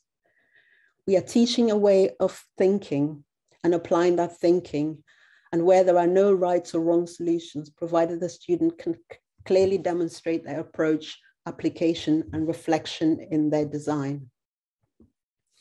We all acknowledge that architectural education is failing some people, other creatures, and most of all nature. I think in part because of its pluralist aims, which means that the curricula are forever being added to, and also in its equity, not just with those who are easy to identify as the underrepresented. The statistics are alarming. According to Susie, only 18% of students who begin architectural education qualify as architects, this is an enormous attrition rate in a profession where when first year students are interviewed, an overwhelming number say that architecture has been a childhood dream. If we look at the RIBA client satisfaction survey, this provides a further sobering impetus. Registered architects score highly in design, particularly for private, domestic, and commercial clients, where the satisfaction is generally above 70%, and the highest for developing and interpreting the brief. Less so with, with contractor clients where the score is around the 50% mark. However, when it comes to satisfaction with their ability to provide the wraparound services, this drops by 20% across the board. Something is clearly going awry in the education of our architects. I think we should let go of Gropius's Bauhaus theories from the 1920s which have been the basis of most of the education in the 20th century, and devise a new lexicon of approaches which better reflect our current century and its urgent implications. Higher education institutions are notoriously resistant to change, despite the overwhelming evidence of best practice and the need to change signature pedagogies. And this is acute in architecture. The world has changed. However, what the ex executive secretary of the UC, UNCCD said in draft drought in numbers could be equally applied to architecture. We need to stare towards the solutions rather than continuing with destructive actions, believing that marginal change can heal systemic failure. And I, I just thought I would also share some of the, the statistics. Um, the cost of being a student in architecture is nearly 24K a year. Um, without financial support, most students can't um, practice uh, or be at a school of architecture. Uh, a staggering number have been asked to work for free. And you know, if we look at just how many wanted to be architects and still want to be architects, and the difference between non-white and white respondents, um, what their worries are, um, and what they whether they think the education is actually providing them with the knowledge they need. I think these also help um, with what we want to do. And then finally, uh, if nothing else, just looking at the the graphs for their mental health prognosis is um, impetus for change. So my takeaways are that we have to go from abundance to scarcity, and we have to really think about what's included in our curriculum and revise our pedagogy. Thank you. Thank you, Felicity. That's a really thought-provoking talk. Thanks very much indeed. Um, Moa and Simone, would you like to carry on with and present us with your project, please? Sure, absolutely. And wow, what a presentation to follow. Thank you, Felicity. That was uh, just amazing. So let me just share my slides here. Um, okay, like that, perfect. So uh, we are from the Edinburgh School of Architecture and Landscape Architecture. And um, myself and three uh, uh, colleagues will give you some examples of how topics of ecological and climate emergencies are taught in our school. And um, we're lucky that everything at ESALA doesn't uh, need to change. What we are doing is kind of based on a long tradition of, of working with environmental questions. And we have colleagues who have for a very long time been working on these topics uh, some of whom are in the audience today.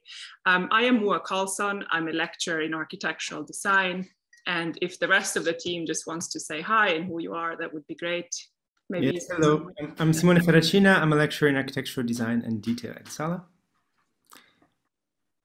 Uh, hi, I'm Joe Sims, um, and I'm a fourth year student in uh, the undergraduate architecture program.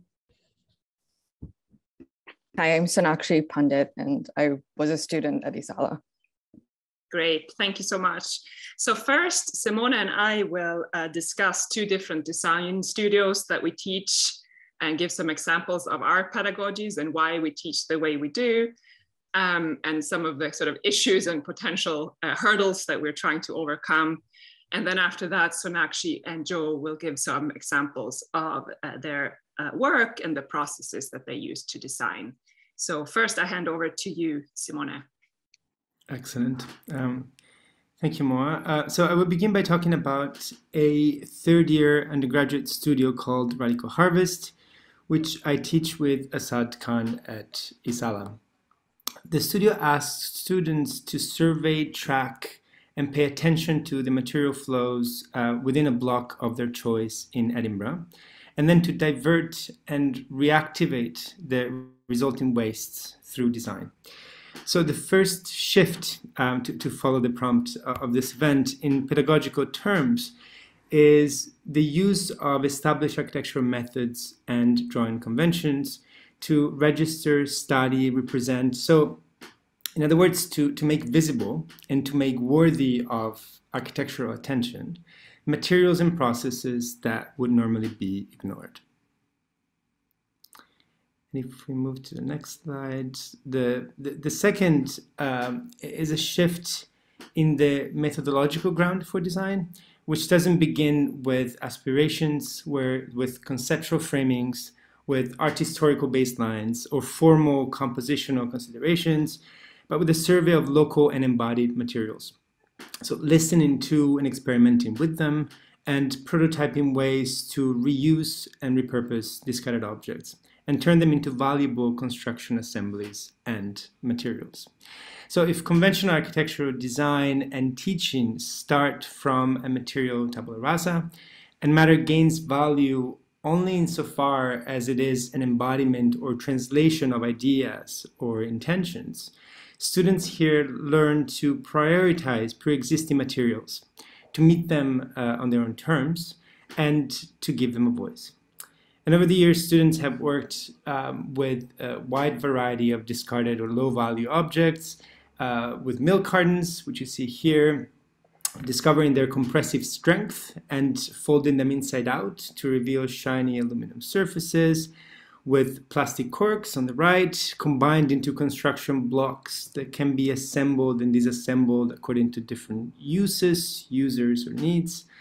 And, and here I'm borrowing pages from my book, um, Ecologies of Inception, Design Potentials on a Warming Planet, which was published um, yesterday, actually um, with rags and discarded clothes, which became intrinsically human scaled building blocks, with exhausts and metal scrap, which, like the clothes, would otherwise be shipped to Asia for recycling.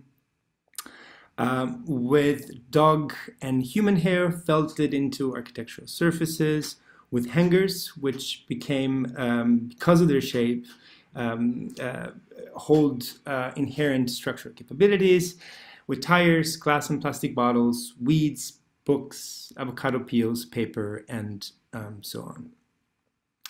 And just a week or so ago, uh, I collaborated with six Radical Harvest alumni to develop, um, scale up, and combine some of their material systems into an installation that, over the course of Genova Design Week in Genova, Italy, attracted many visitors, uh, many of whom uh, were very short, as you can see on the right, and enjoyed interaction with it. Um, anyway, so aside from the various tectonic inventions that emerged and continue to emerge from the studio, a few key aspects are worth mentioning before passing the baton to Moa to discuss the next studio. Firstly, that the processes of one-to-one -one experimentation with materials we encourage generate knowledges and these knowledges cannot be imparted. Uh, we don't have them before students start, uh, but stem from the iterative and rigorous encounter between the students and the material systems under consideration. Secondly, it is through these material-driven knowledges that the discarded objects become viable as materials. And this means that in the unit, we are no longer able to decouple materials from the relational and situated ecologies that make them so and upon which they depend. Thirdly, in order to source the necessary materials, students started to weave networks of collaboration, care, and trust with the people working in local bars, hairdressers, bike shops, restaurants, cafes, etc., who are asked to really go out of their way to set aside, collect, or separate discarded materials for the students to pick up and to continue to do so over the course of several weeks. This is an 11 week long course. In addition, the work of preparation following these weekly collection of materials often involves washing and drying, repairing and mending practices. And this usefully reframes and reconfigures architectural design, questioning the presumed separation of intellectual and manual labor, design, building, and maintenance. And I should conclude by saying uh, that some of these hyperlocal approaches can be easily, very easily criticized for the limited impact on uh, real world waste flows and on the reduction of actual material throughput. Um, while there is merit in these criticisms, with which I uh, fully agree, uh, my hope is that the pedagogy of reuse, care, and responsibility of the studio and its ethical regrounding of design and materials will promote environmental responsibility not as a form of expertise that can be gained, or not only, but as a collective form of life. And that said, um, I will pass the mic to Moa for the next studio. Great. Thank you very much, uh, Simone. So the next studio I will talk about is called No Blank Slate, Architectures of Reuse. And this is a fourth year undergraduate design studio that I teach together with Simone. And in this studio, like, just like the previous one Simone presented, we work with embodied materials, but in a slightly different way. Our focus is on reuse, deconstruction, and also to some degree on adaptive reuse. In this studio, all design projects start from an existing building and an existing site in the Edinburgh region. And hence we have that title, No Blank Slate. Uh, we work with local stakeholders that come from, uh, th that range from the owners of these sites to contractors to local campaigners and activists to experts in deconstruction, uh, such as Rotor and Recircle in Oslo and Brussels. So the shift in this studio in pedagogical turn is that um, is in this studio, the idea is not to impose a new design on a blank receiving slate, but rather to first get to know these sites intimately, um, its fabric, its anatomy of parts and components, its level of decay, levels of toxicity, and so on, before we start to intervene. So really the uh, uh, ethos of our studio is to have the most uh, benefit from the least amount of effort. So the studio begins with a thorough survey of these sites and an, an evaluation of uh, the con uh, condition of building parts, components, and so on. And in this phase, the students work very much like building uh, surveyors. And you can see a, an example here of the uh, old Madelvic car factory site in, in uh, Granton. And these surveys then lead to individual design projects. Here is uh, such a project for the Granton site where uh, uh, one of our students, uh, Ryan Liu, has kind of creatively flipped the central steel trusses to reactivate this building and give it a new life. Uh, here is a flat lay of another uh, building and an exploded axo of a Victorian villa in Murrayfield. So the students start with taking stock they survey, they evaluate these sites in a very sort of hands-on manner, and then they produce drawings such as these. So designing in this way requires quite a deep level of technical understanding that our students don't always have when they come into the studio. And this is one of the things that we battle with because one really needs to understand how these buildings come together and what the parts are and how they fit and relate to one another in order to understand how to hack or improve or modify them. And our studio, our pedagogical tactic, if you like, is to first produce models and then produce drawings. And we think that if you can build something uh, physically, then uh, you can likely uh, draw it as well. So the design process we follow is also deeply rooted in place. It is not driven by formal precedents, but rather from tectonic opportunities that are unique to each site. And students spend time with these buildings to, to discover and tune in to such tectonic design opportunities. The material specifications are also rooted in place, and students are asked to know precisely where their materials come from, the steps and amount of both labor and carbon required to produce and uh, procure them. The projects are also designed with disassembly in mind. Our stu students need to consider how their buildings might come to an end and how materials can be recovered from them later, and we have found that this twist of the brief, of the pedagogy, sometimes is met with some uh, resistance and that students are not used to thinking about this, how their uh, kind of design projects will, will eventually be uh, removed or come apart again. But once they do get on board with that idea, they find that designing uh, the deconstruction process and the disassembly protocols into their design is actually a highly uh, creative act. Here we can see Carrie Sue and Chloe uh, So's uh, reconfiguration of the uh, Craigleith Superstore here in Edinburgh, uh, which they transform into a modern fun palace, with, which is highly uh, reconfigurable. Often our students focus on a specific type of component that they discover that yields a tectonic idea that then drive their projects. And you will see two examples of really fantastic uh, projects later with Sonakshi and Joe's project. Um, so in general, uh, we learn a huge amount from our students and with our students. So this is not a studio in which the students are supposed to learn from the masters and, and, then reproduce that knowledge. But we really discover and do research together, and we work with uh, engineers and other uh, consultants to really develop kind of unique uh, tectonic and technical solutions with their uh, buildings and, and building systems. This year, uh, Cole Drury developed a set of subtractive design protocols, which were really, really interesting to us. So by carefully removing parts and opening up a very closed Victorian school building, he basically uh, made the, the, the site suitable for modern programs. So again, going back to Sofie's point that architecture can be uh, uh, subtractive or uh, also a matter of removing uh, things from the built fabric. So finally, although we don't talk that much about it really, uh, there is a certain wish from Simona and myself to infuse the students with a sense of responsibility. That, that there is an ethic, there needs to be an ethic underlying their work that allows them to make decisions about their projects. The point is that sustainability and sustainable design isn't about box ticking, and rather, uh, but that it's rather about situated knowledges and care and also that design um, sustainable solutions will be different on each site.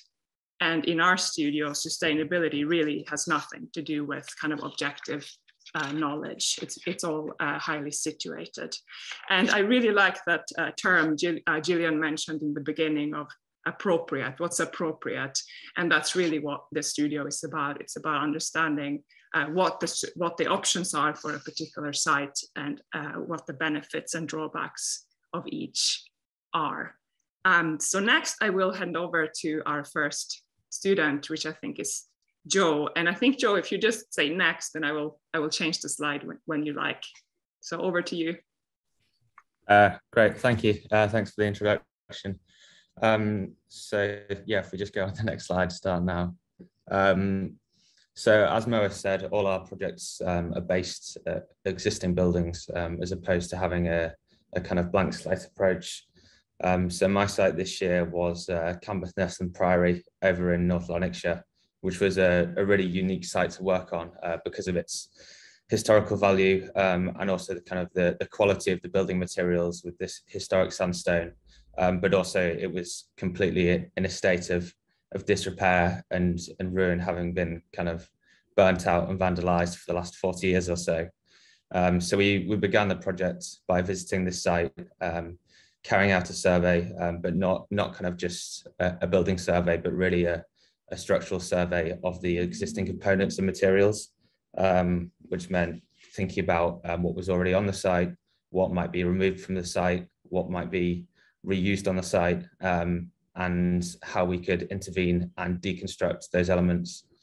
Um, so my project kind of leaped forward um, about halfway through the semester when we had a, a short workshop with um, with Rotor from from Belgium. Um, we visited several salvage yards in Glasgow, and um, at this point, I, I kind of started to think about material interventions in my projects and started working with um, scaffolding boards for a few reasons, uh, just because they're, they're very widely available, affordable, um, and they come in these modular lengths, so they really lend themselves to, to these kind of modular structures. Um, so I was actually able to purchase some of these scaffold boards during this trip.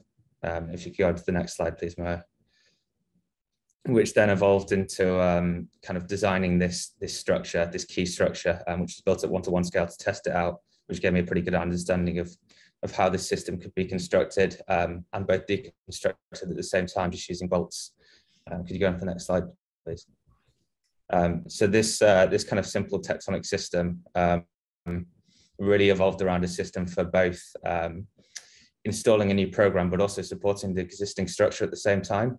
Um, so the the proposal kind of worked through several phases of development, with the first phase just being supporting the structure and gradually repairing the existing building fabric before slowly moving towards a full program um, and new facilities for the surrounding community. Uh, next slide, please. Uh, as well as these scaffolding boards, um, I also focused on uh, reused windows, which I sourced um, from the local area using online sites, mainly Gumtree. Um, so for this phase of research, I was drawing uh, kind of harvest maps. Um, so all the windows here that I'd, I'd uh, laid out on this facade were from within 50 kilometers of the site. So this, this studio ethos really focuses around not just reusing materials and buildings, but also um, thinking about material flows and local uh, patterns of reuse. Um, and as much as um, the, the kind of program this building focused around um, a small community center and distillery, but really the, um, the kind of overriding ethos of this project was um, as much about having a system of a system of building and a system of repair um, that was actually very adaptable and could be deconstructed or moved. Um, so I'll hand over to Sonakshi now. Thanks. thank you. Uh, so my project um, was uh, a it, it, was basically considering transforming a retail park, Craigleith Retail Park, which is a retail park in Edinburgh, into a material library, a, a test bed to prototype the diversion of low value materials and upcycle them into architectural components. Um, next slide, please. Um, and we were asked to survey and, and catalog materials, obviously, that, that we would reuse um, and repurpose. Um, and we were obviously kind of asked to kind of look at the existing elements on the site. Um, and so the project uh, repur repurposes the existing structures, but also one of the main kind of materials that stood out to me personally on within the retail park typology were the shopping carts and the great kind of number of shopping carts in the site. I counted like around 950 shopping carts. Um, and so the project proposes to upcycle shopping carts into Gabions or what I call Gabion carts. Um, and then and then I was also kind of mapping the supply chain for these shopping carts across retail parks um, in across Edinburgh um, uh, to kind of better understand the material flow. Um, and the entire project is premised around um, the affordances identified within the shopping cart. Um, and, and, and in turn within the, the Gabion cart, the fact that uh, they can be filled, they can be opened, um, etc. It all kind of started from there. And the affordances then kind of inform the key decisions, the structural, programmatic, environmental, social strategies of the project. The resulting Gabion carts are used to construct a load-bearing modular wall filled with rubble, which is sourced from demolition works across the city.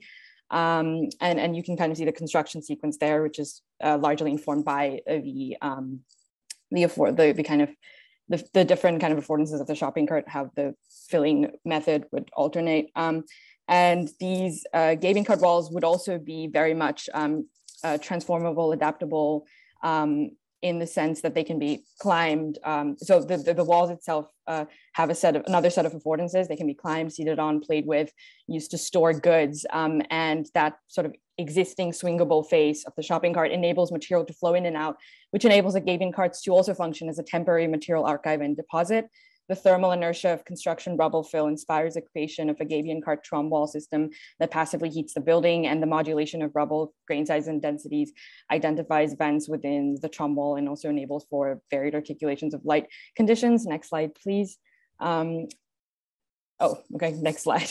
Uh, and the ability of Gabion cart wall, the, the Gabion cart wall typology to grow and contract concurrent with the availability of rubble material coming from demolition works enables the typology to develop in conjunction with demolition and construction works across Edinburgh.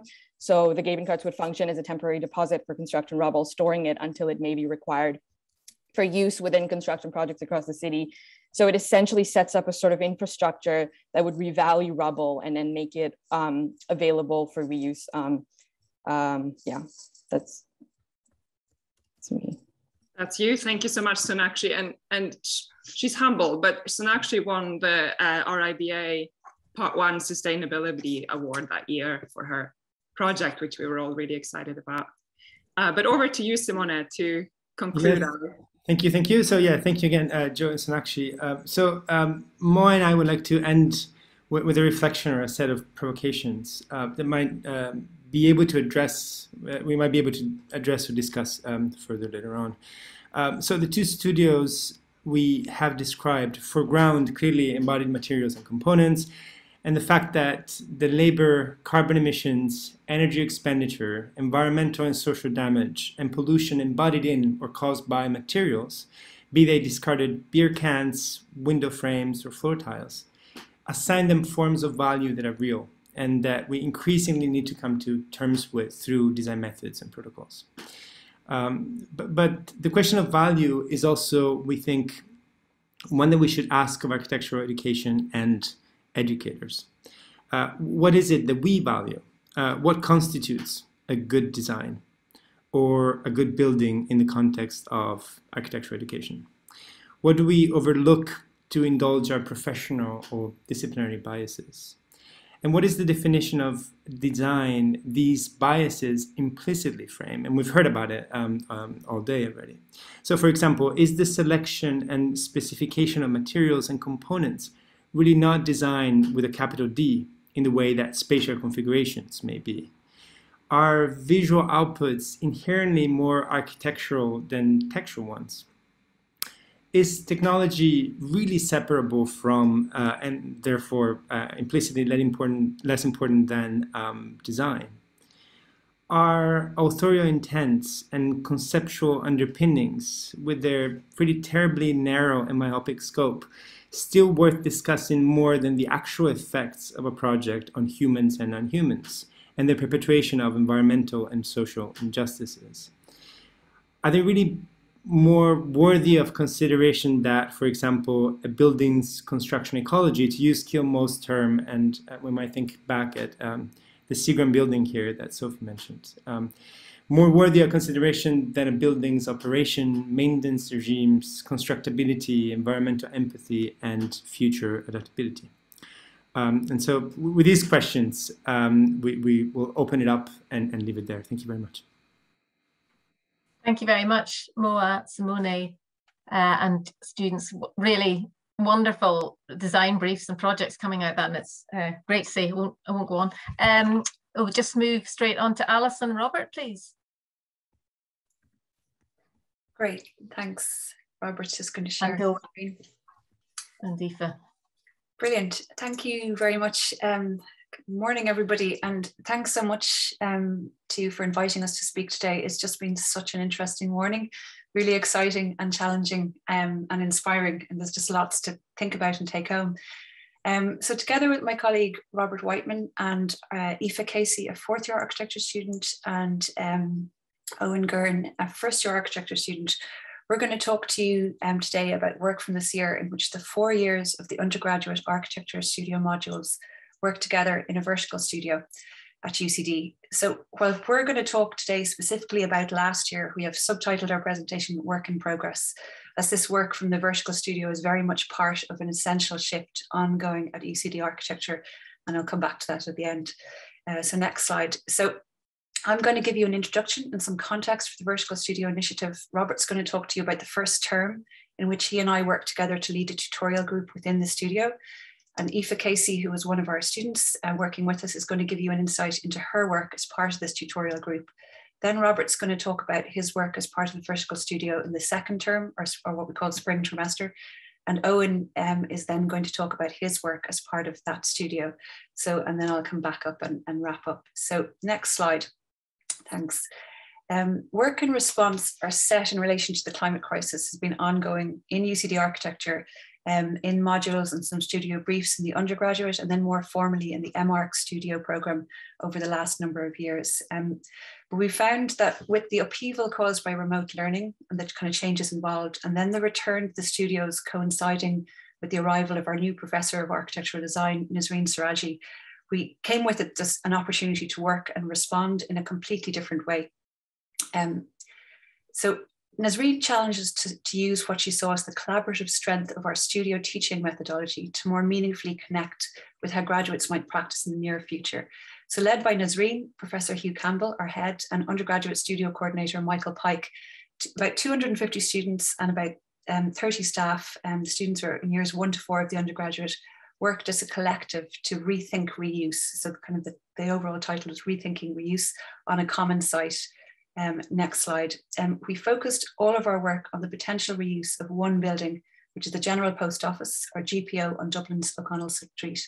So this, like um, many GPOs internationally, is at a moment of change um, where the institution is changing and the building occupants are due to move to a new um, set of um, office buildings in a new, newly developed part of the city.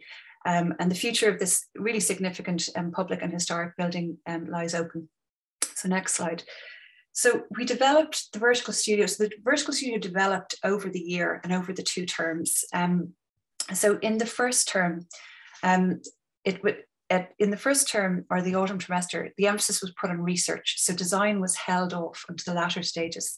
So each at the start of it, each staff member was asked to make a proposal for teaching that would encourage diverse ways of studying and understanding the building. And we each worked for the first two weeks with eight or nine students from years two to four.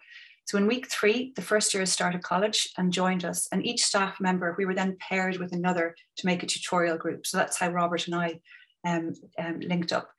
So um, this tutorial group sat as one of four tutorial groups with one of four, within one of four vertical studios.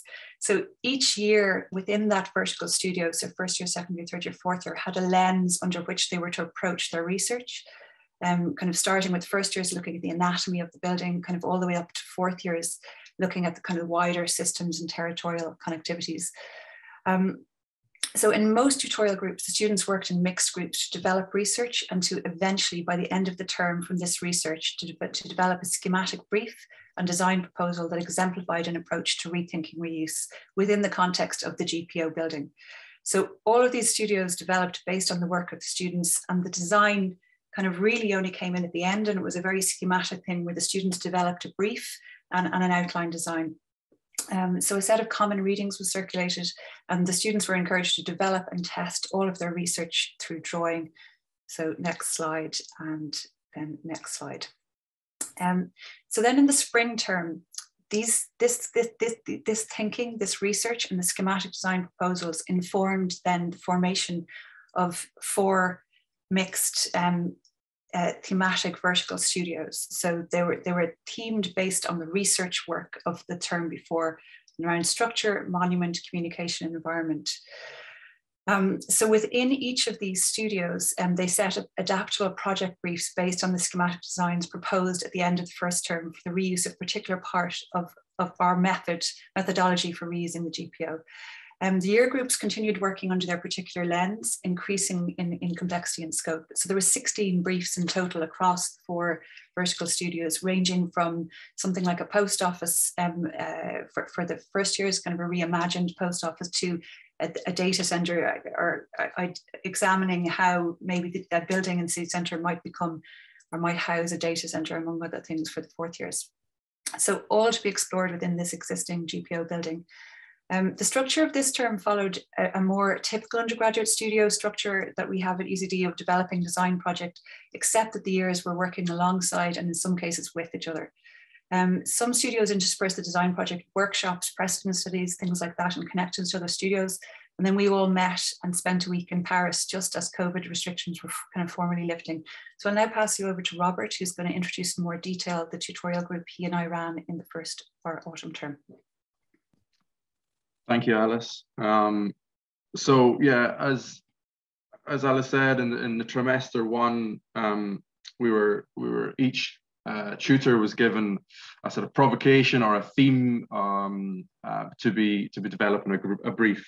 So uh, the Green Group staff, which we were part of, were asked to respond to the idea of system territorial connectivity, and that brief was to engage Dublin's General Post Office. Um, and so in what weeks one to three, each tutor worked with small groups of students from years two to four in vertical studios. Um, and Alice, leading uh, G1, um, developed a brief that analysed visual content in social media posts involving the GPO. And, and Alice was interested in to find out what, what this data set could tell us about a significant public building and one that is, you know, so intrinsic to the um, formation of the present Irish state.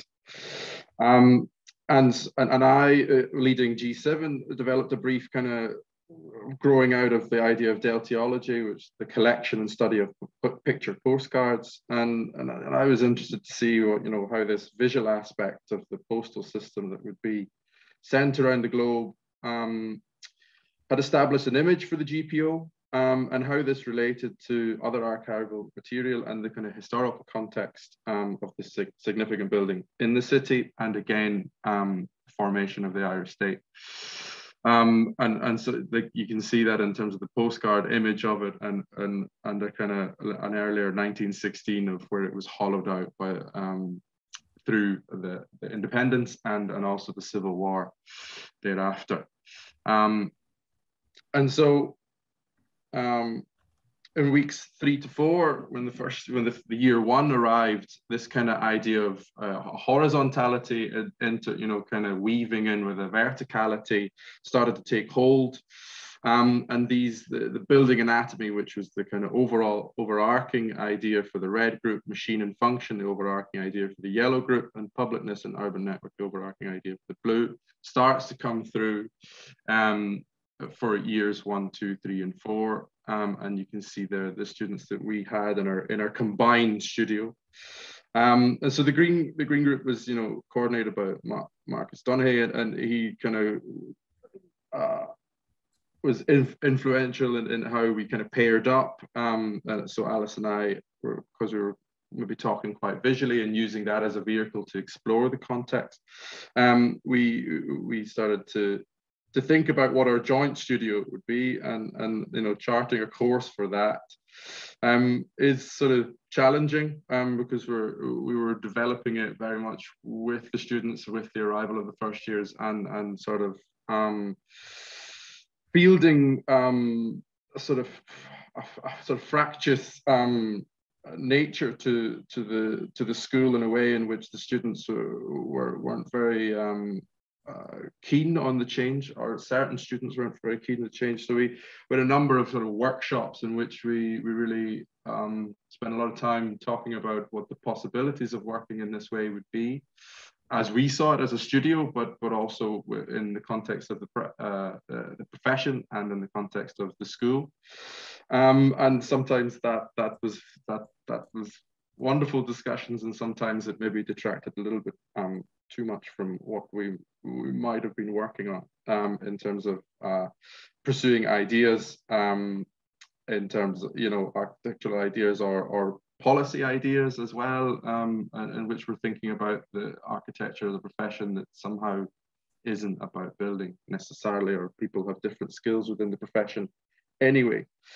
Um, so I mean, it's it's also kind of important to note that that uh, Alice and I did not kind of, whilst there is this element of uh, horizontality, we didn't put too much um, emphasis on it in terms of talking with the students and pursuing their um, research ideas. So each each student picked up a, a subject within their their either building anatomy and machine function that then they took forward and researched, and that was the kind of only horizontality that that we that we uh, acknowledged. Their year was was was immaterial. Um, their ideas were kind of open platform, and and really, uh, a second year would would would be challenging. A fourth year to think more um, critically at times, which was a really fruitful um, discussion to have, and and it really brought a a great energy from some of the younger years that do come in with that kind of um, hierarchical feeling that oh I've, I've I've just graduated from school and and now now I'm back at the bottom of the pecking order, which was not the case at all. Um, oh, sorry. And, and so in the sort of, when each of these uh, students uh, had developed a, an idea of what they might explore and, and analyze uh, in their, in their kind of horizontal themes, um, we then sort of uh, evaluated that when there was a conciseness um, and uh, a clarity to what they were doing and what the, how they were uh, thinking about it and, and exploring through drawing.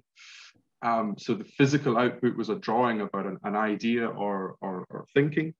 Um, and uh, we collated them or we collected them and, and, and put them in these five groups of three and in which we thought that there would be a collect, there could be a common ground that, uh, that they could project forward into a uh, a sort of co a, a, collective endeavor for their work. And these are the some of the, the, the, titles that they that these uh, projected projects um, resulted in. and we, we framed it as an idea of civic generosity um, in this public building that's somehow discarded by this privatized arm of the state. Um, and actually, it's it's it's where people go to protest. It's where people go to register their opinion. It's not at the parliament. It's at the GPO because it's so fundamental to the to the foundation of the state. And and so um, these the this idea of civic generosity gave a kind of an extra push with all the other kind of themes and their own driver of, of what the project could be. Um, and I would like to just say something about the way that we that we worked in the studio. In that uh, Wednesday was an uh, an informal um, uh, discussion with students and in their in their groups or or or overall in in the studio in which um, it was a round table um, kind of chat, I suppose you would say, exchange. And then that kind of became a formalized or they were to formalize some of those ideas and to really project forward or to say what they think they've achieved in that week or to say where they think they're going with their work in a formal presentation on the Friday in which we all sat around and they had a kind of uh, an audience to and it, so it was this kind of um, discuss and, and then and then project and, and, and, affirm what they might think. And, and we invited um, uh, Mark Stoney as, as our coordinator and uh, Peter Cody as another coordinator um, to sort of input. And so we had a, a variety of voices. They weren't just listening listening to our discussion points. Um, and uh, we also managed to sort of bring forward lectures with, with the, the, the An Post um, uh, archivist, a fantastic range of material that it, that it could uh, talk about and, and knowledge that we could mine. Um, and, and also Alice delivered a lot of things about um, critical writing, um, discussion, uh, workshops around these. Um, and then uh, I was delivering kind of workshops ar around uh, drawing and visual communication and things like this. To, to, so at times there was not a, an, an output or not that the students were familiar with in terms of a project output, but we were really saying we've thought this what does that mean in terms of a visual output perhaps and the, the, um, yeah so uh, and then here's here's as you can see here's some some examples of of, of student works produced. And um, the, the, site plan uh, that one of the students uh, put together is very interesting in terms of um, really showing the, the GPO's position within the city, the, the old Sackville Mall that, that, that was first developed before it became O'Connell Street. So it's like an affluent area for parading around and it's in the in, a, in, an evening, and then it's it's north of the river, north side of the kind of uh, under. There's a north side, south side kind of divide, and Trinity, which very much kind of forms a, a kind of Oxford College um, uh, as in uh, an enclosure uh, separate to the city, and and and so the, the, the sort of overall dynamic of the building in the city and and its immediate uh, surrounds in terms of an under an under um, appreciated um, uh, Princes Street, which is, uh, issues with um, drugs, but also uh, issues with um, uh, large kind of um, freight and such like coming in there, and then the the the, the um, Henry Street, um, which is a more commercial. So there's many faces to this building, which was which the students had to kind of find a way through to to uh, explore. And and so at this point, I'll I'll, I'll pass you over to Aoife Casey, um, who will talk about her work as part of their uh, thematic group, which was waste as a commercial resource. Aoife. Yeah. Hi everyone. Um, so I will jump right in. Um, and I will just start with the fact that every month Dublin City alone produces enough waste to fill the length and breadth of O'Connell Street up to the height of the GPO. And approximately 80% of that ends up in landfill. That was something I learned during the initial stage of the project where we kind of undertook this intensive research phase. Um, and I in particular was looking at urban infrastructure and surrounding the GPO, um, in particular that of kind of bins and waste management services. And I think this drawing probably speaks for what the whole project was to become, which was kind of this polemic on current cultural and societal trends of consumption. And next slide. So yeah, then as part of this vertical studio, I began working with two other students, one in first year and one in second year. and we began discussing our various researches. And the first year, student, Julia was looking at the facade of the GPO, and Maeve was looking at the back of the GPO and the arcade and its commercial value.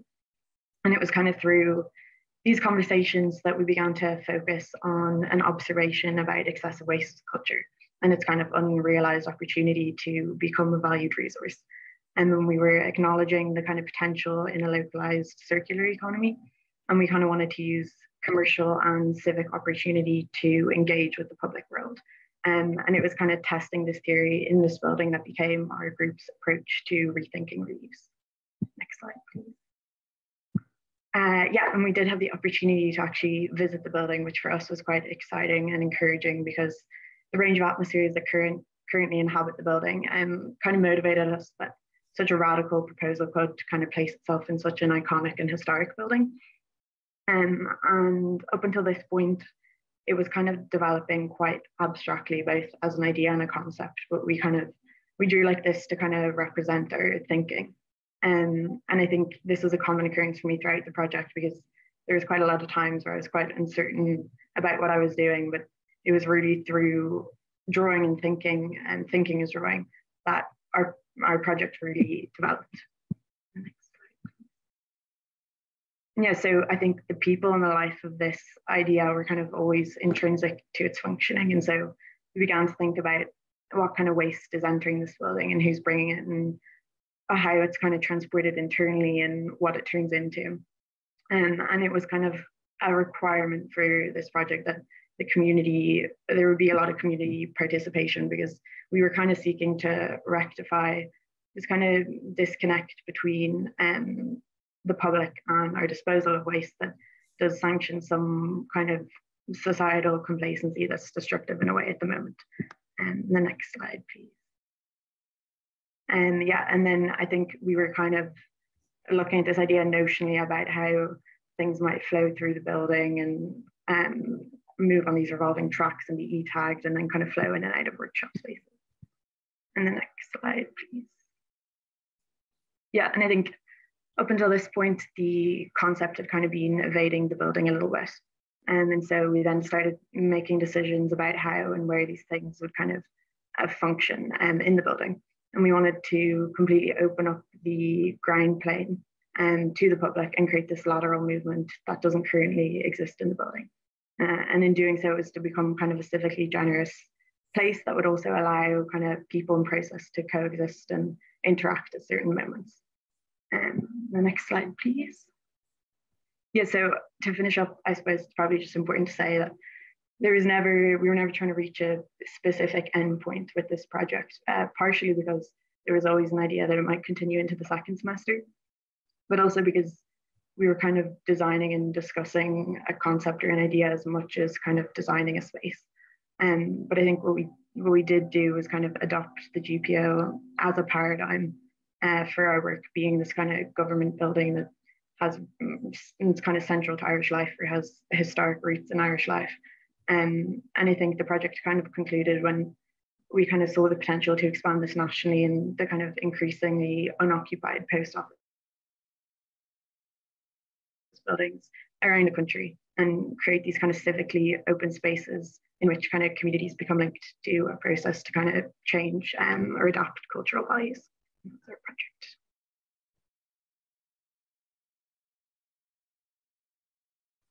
Thank you, Aoife.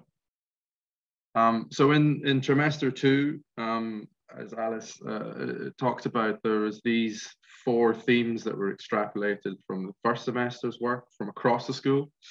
Um, and they, they formed the identity of these four towers, um, and each with around about sort of 60 students-ish, um, uh, uh, again, from years one to four.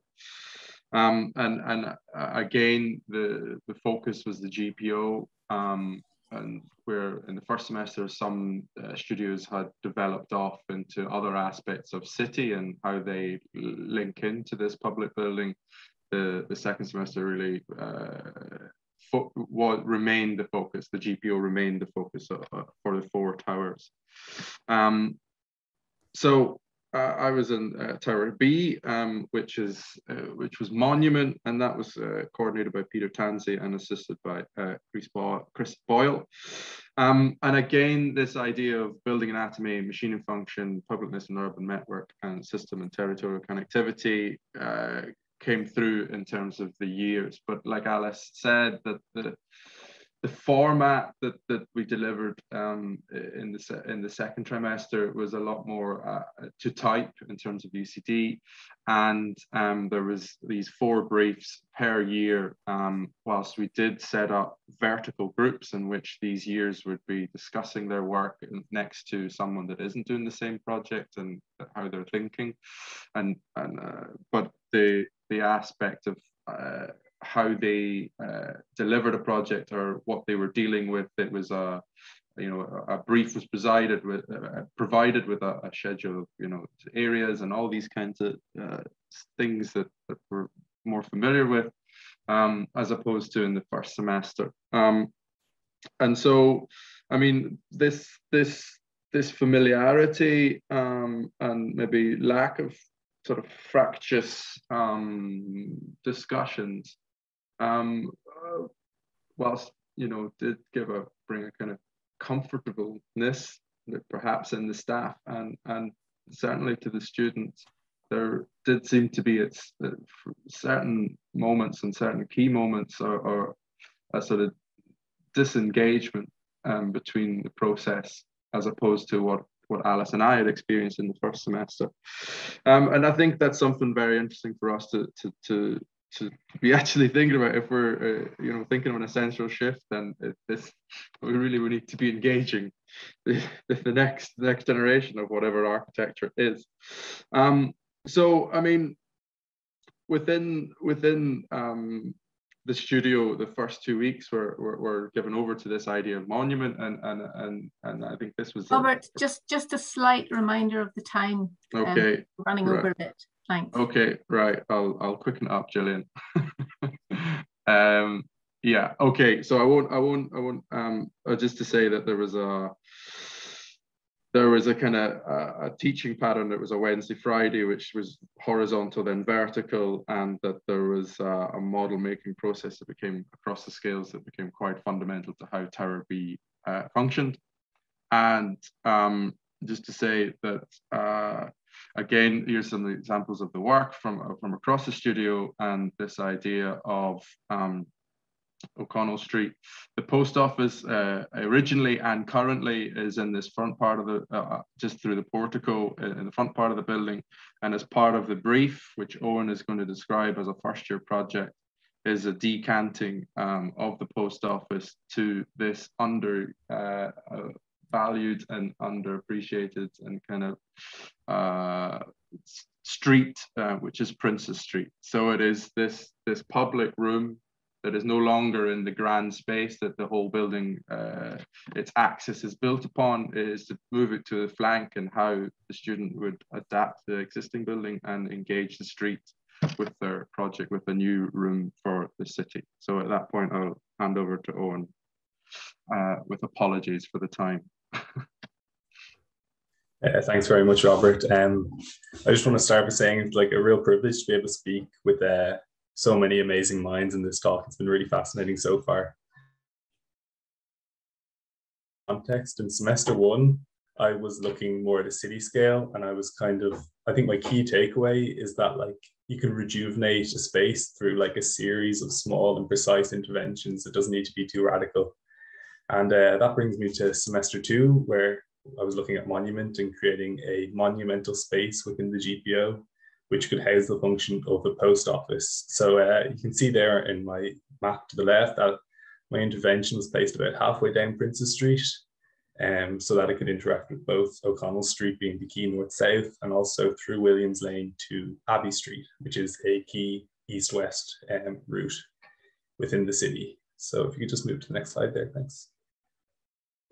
So my project was really born out of the cross section, and that's where I, most of my iterations to begin with came from. So there's an existing, uh, the existing structure, which consists of two columns running down the center of the wing. I found that to be a bit restricting for creating a postal hall. So I replaced that existing structure with a new structural arch and then um, an existing split level between the street level and uh, the ground level of about 1.4 meters. I wanted to retain that split level and try and see how I could work with it to create a dual post, uh, dual teller space in which people could be served from both at, on the street and served um, through different tellers on the internal uh, postal hall at a higher level. So I had to keep catching myself uh, from working just in the two dimensions. Um, I found I kept it working just in 2D um, without thinking about how the spatial quality actually works. And that's kind of where I went with the perspective section about how the space is actually formed and articulated through uh, these structural arches. So we just yeah, perfect. So um, although sections, of course, are like a key part of my design, uh, so too are plans. So you can see at the ground floor, the entrance is to the east and you travel up an existing staircase into the postal hall in which there's a row of tellers to your left. And of course, accessibility is such a key factor to architecture nowadays. So there is a platform lift just to the left of the, the entrance um, with the staircase. And then you can see the row of teller spaces that operate on the outside through a, uh, a sash window form to the, uh, the public, which are outside of the thermal bridge. And then the private entrance is located on the far west of my intervention. The, uh, there's a door in to a staircase, which uh, kind of crosses up and then up to the upstairs, which is the private space where the offices are located. And like alongside a indoor outdoor space and a conference space is a row of desks which overlook the double height uh, space, the double height postal hall. So just the next slide. Oh yeah, so um, iterative models became such a key part to our design process. Um, so I began with like a theoretical model of a infinitely long postal hall with like a variety of different arch and structural forms about how these uh, like the weight of the building above could be held. And then from there, I kind of moved on. I discovered the split level, and that's how my project came to be today, looking at scales of one to 500 and like the city scale, how it interacts with the space to 50 and about how the thresholds of the building uh, operate. So thank you. Thanks, Owen. And I'll just wrap up very quickly because I'm very conscious of everyone's time and that like the workshop after and the discussion is really is really important part. But I just want to wrap up with two key points. Um, so what we've presented here is a very simplified version of the year, and it might make you think that you know, it was quite plain sailing. It really wasn't. It was very, very difficult. And as we all know, design is, is a messy process and the meaningful change within the parameters of an institution and with the restrictions on kind of part-time teaching co contracts and everything else, it's really, really hard. And, you know, we had a lot of friction as we tried to figure out how to work, teach and study in a completely different ways. Um, and this combined with the uncertainty of COVID restrictions expanding and contracting as we were going, we all found it really challenging, you know, students and staff. Um, but what we're finding as we reflect on the year is that within that turbulence, we have found ourselves having discussions with colleagues and with students and amongst students. And I think Essi kind of referenced this really well in her talk this morning. It just really got to the heart of pedagogy and the changing nature of architectural practice in just in a way that I don't, I, I haven't experienced in a really, really long time. And while the work produced and like our students are excellent and they are were a key part in the development of this project, you know, and I think I hope you got a chance to see that in Aoife and Owen's work. Um, the work is very compelling, but what I'd argue is that what the project allowed us to do was to create that was very, very valuable and to take this time and space um, to discuss and develop ideas in collaboration with students. And so in the second term, um, I, I, applied for funding to become Universal Design for Learning faculty partner and Director of Teaching and Learning, and which is in allowing us now to embed the principles of Universal Design for Learning within the development of our studios, which is just hugely important in the development of the curriculum. Because I think as one of the speakers alluded to, I think was Sofie this morning, you know, these two things go hand in hand. Like we're not, not only connecting to the developments in architectural education in relation to the climate crisis, but also in, in relation to major societal change. And the two, the, the, the two um, need to work together. And the last point is really that what we've created, what we've presented here is very much a collaborative endeavor and it's very much a small slice of a huge collaborative endeavor, you know, amongst kind of 30 staff, 250 students. And we're going to take time um, to reflect on it now in June and then to develop plans for next year. And just in this really exciting development, which one of um, our, our, colleagues from TUD um, mentioned this morning in the chat, is that we received word late this term of, of a su successful funding bid. And UCD Architecture is, is a partner in a TU Dublin um, led uh, HCI funded project entitled the Resilient Design Curriculum, and in which all six schools of architecture in the Republic of Ireland are collaborating to radically revise architectural education to embed the principles of the UN Sustainable Development Goals.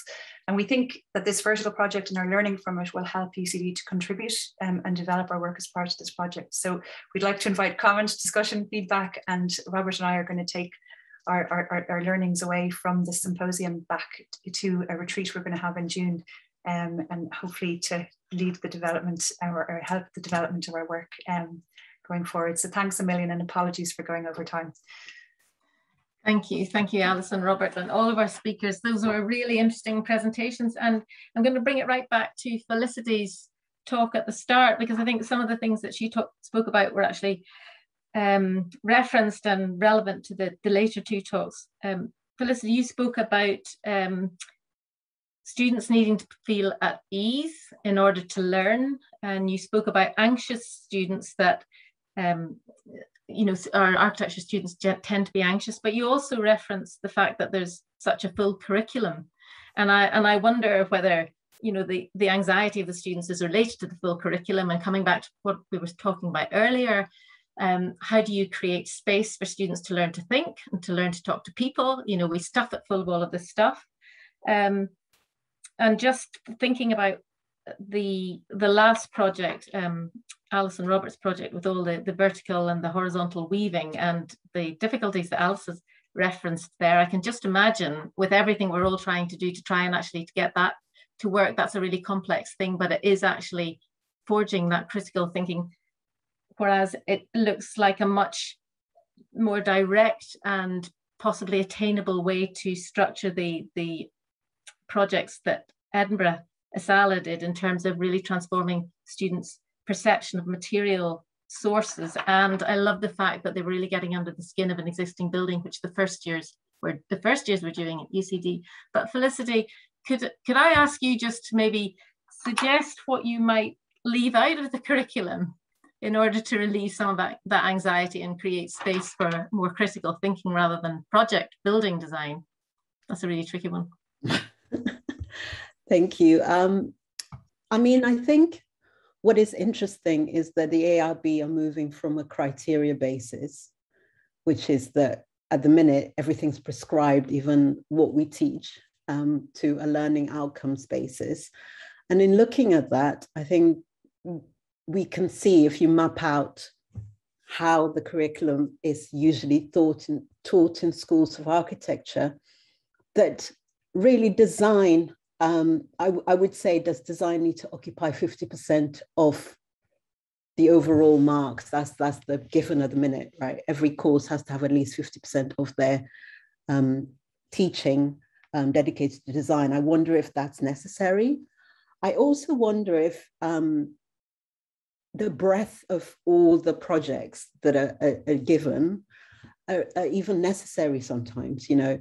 It may be i don't know i'm, I'm speculating right? Um, but it may be that you could look at one project the whole year in its all different facets rather than trying to do three or four each time or other other ways. I mean i'm new to teaching professional um, studies. I used to um, direct uh, a course in uh, interior at Ravensbourne called Interior Design Environments Architecture, where the whole course was about reuse, adapt, and reuse.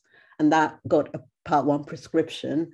And as they said later, you, you do need to know the building well in order to make a meaningful um, intervention or lack of intervention to it. So, I mean, I just think we we all kind of show off in a funny kind of way with architecture, both students and teachers.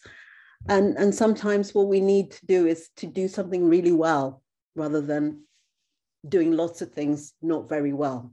I don't know if that answers it, but you know, that, that's what I think. Yes, I, I understand what you're saying. um, yes, so much food for thought actually, because in our own practice at the moment, it you know comes to the end of term and you look at some projects, you think, gosh, they could be so much better. The students need more practice at designing, and of course, this is challenging all of those thoughts. Um, we're going to have to think cut this discussion short because we, we're sort of running out of time a little bit for the next session. Um, so unless Sofie, you want to comment on anything just at this moment in time? Just that I fully agree actually with um, with Felicity's response as well. I was just putting in the chat, my motto has always been do less, but do it better, do it well. And I think sort of repeating or taking from one year or one semester student, getting students to look at what they did in a different kind of way through different sustainability lens and then reflecting and self-critiquing is really rewarding. Some of our master students do that. And then they go back to this earlier year and then literally say, what would I do different now that I'm two years later and I actually um, want to redesign? And then you know, I think we always want to recreate and, and map things again, you know, as this show off. I think that Felicity first that we all recognize, you know, it, it, like we're almost like each studio wants to be this all holistic encompassing course when actually it fits in five years of study that one studio doesn't have to do everything. And i think we keep forgetting that that it doesn't have to do everything. Is this progressive learning step by step. As long as at the end they can get there the biggest trick is is how do you communicate across all of the different courses and studios in those five years to make sure that then they have everything at the end? That's really hard i think. Um, but yeah and i just want to say felicity awesome talk, really amazing. And everybody else as well. It's really great to see the projects live coming in as well. And what somebody said as well, like, um, it doesn't mean because you're working with existing and you're not creating new. There's so much creativity. If anything, I think with the climate emergency, we need more creative thinking, not less. I think that's a mistake if we think that's not the case. But I think it's often that we see certain doors close and we make different decisions that people think is being less creative is actually we need to be more creative more innovative more experimental more thinking outside the box. And i think for me that's exciting. But i'll shut up because of time. But yeah thank you. I know it's great. It's great. This is the, the valuable stuff actually. And would any of our students any of the student presenters actually like to give some feedback or some thoughts on what you've heard and seen today and reference your own experience Um, I think uh, the first year experience coming into a vertical studio, it was like it's such a big shift from going from school into architecture college, anyways, and then coming in and being surrounded by older years. It's quite a big shift, so it does take a bit of time to adjust to it. But um, I think it was really valuable. Um, I think I learned a lot more than I could have learned being just in a studio first years. I could learn from the older years. Mm-hmm. Okay. All right, Andy, I think I'll pass over to you then for the third session. Thanks again to our uh, speakers. That was really great, all of those talks. Thank you, everybody. Um, just let me get my notes up here.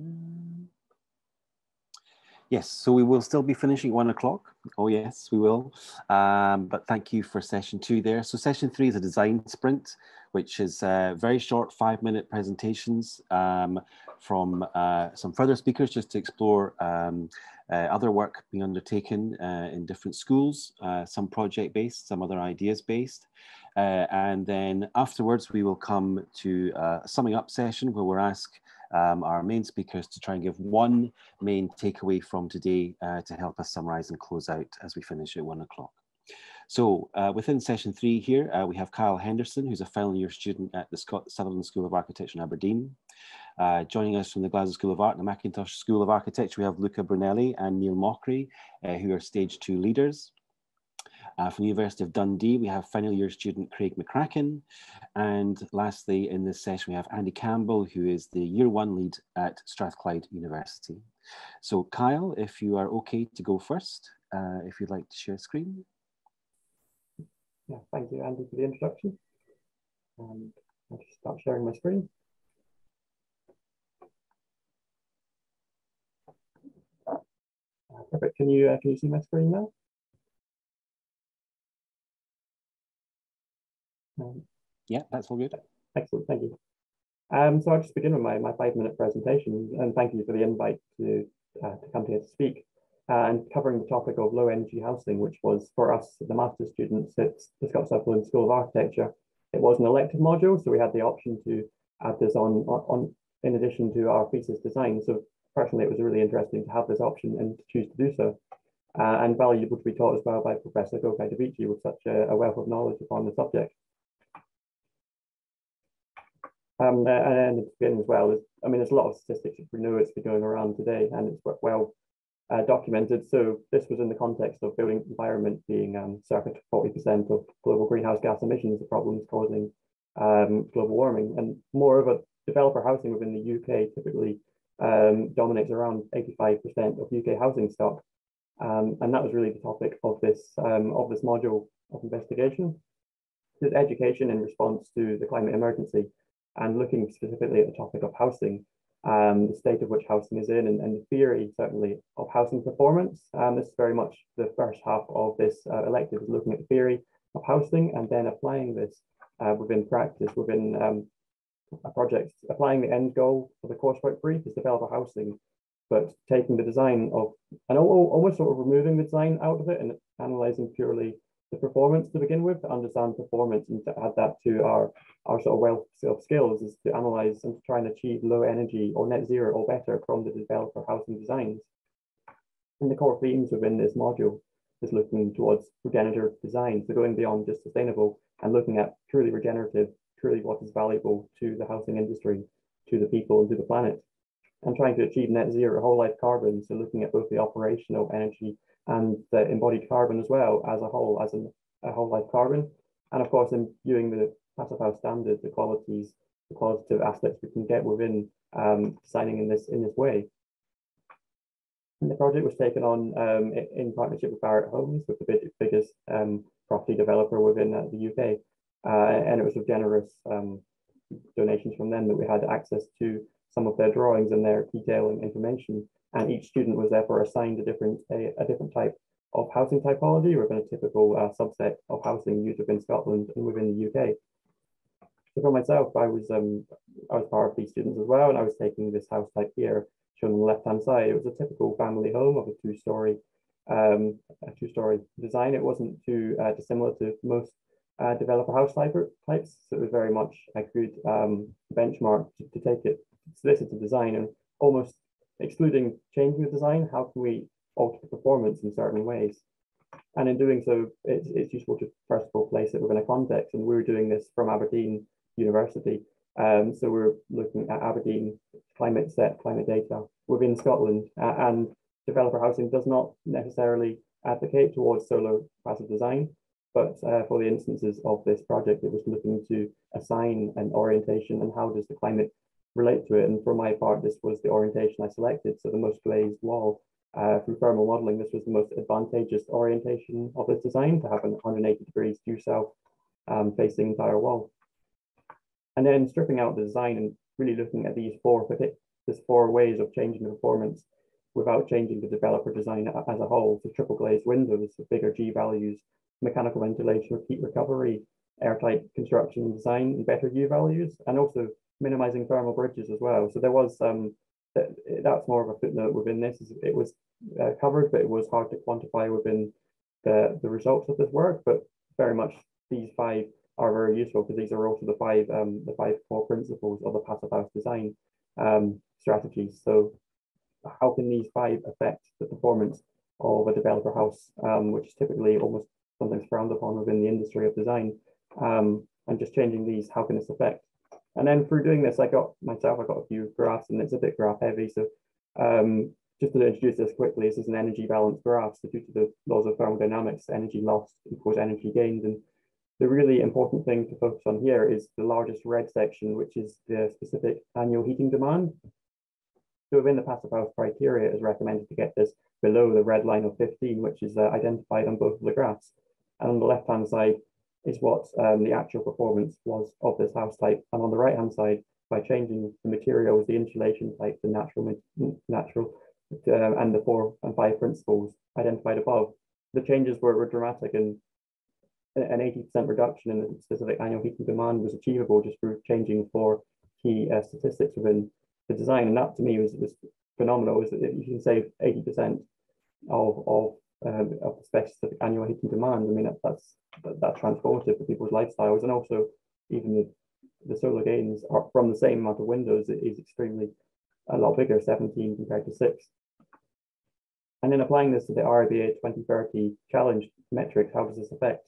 And its design within the de developer um, framework was identified to have um, renewables sufficient to get it into the 2025 standard as designed, but then applying this with the now lower specific annual heating demand, this would get it with a gross demand of 40, which gets into the 2025, and that could even go further into the 2030 targets. And it comes to a negative two figure for the offset demand. So technically, depending on your perspective, this could be uh, certifiably net zero operational energy. But without embodied carbon, it was um, irrelevant. So adding this to embodied carbon, this is looking at the whole life impact of the building. So embodied and operational together, how does this affect? And on the right hand side is uh, the best uh, the best case scenario as far as we're concerned, um, where the embodied carbon is now the biggest emitter, whereas previously the biggest emitter was operational. And that is something we'll move towards uh, over time as we reduce operational energy and the carbon intensity of operational energy. It is embodied carbon to be key, but crucially within this diagram as well is the large green section, sequestered carbon due to the carbon stored within the timber. So depending upon your perspective, this um, could be certifiably net zero on carbon negative design. And I think it's, it's, it's important never to ne neglect the sequestered carbon, but to be aware also of the emissions up front as well. And just relative to one another, the graphs, this is um, the sizes there would be. So on the right hand side, just by changing these four characteristics of this, this same design, I, I achieved much lower emissions to begin with, as well as much greater carbon storage. So for me, that was transformative and, and really interesting. And then finally, we briefly touched upon cost as well, because uh, there is premiums associated with passive houses and it's hard to get away from. I mean, premiums range from 3% uh, at best case scenario, saw from Exeter City Living, but generally between 3% to 20% typically. And it's important to reference this because cost, nothing is cost free and it's something that really affects the implementation of passive house design. And then applying it to the investment in the operation, the pros and the cons achievable, and just that identifying this within the coursework uh, briefly. and, and very briefly, that came into a more fabric investment cost, but with much lower heat generator cost um, of investment. Operation was a lot lower as well, and then less to no operational cost as well, with potential for uh, for gain from donating to the grid. So um, there was there's pros and cons in terms of the cost, but that was very briefly. That's my five minutes, I believe. Um, I just want to say, for me and my fellow students, it was an enlightening module, and learning theory and application about this was really welcomed, and we really welcome the increase of climate literate uh, learning across the sector and trying to apply this performance to influence the design further. Um, and with that, thank you very much, and I'll pass to the next speaker. Thank you, Kyle. Uh, that's great. That's super interesting because I think you know developer housing is definitely something that we don't challenge enough uh, within uh, the architecture and design industry here, obviously because they deliver the vast majority of, of housing in the UK. Uh, just put a quick link into um, some work we did in the Architecture Fringe 2019 core program, which sought to expose the uh, National House Builders uh, model. And so thank you, Cal. That's actually really super important. Thank you. Uh, okay, we're going to move on to Luca and Neil, who are the stage two leaders at the Mackintosh School of Architecture here. If you're ready to go, guys. Thank you, Andy. Yes. Um,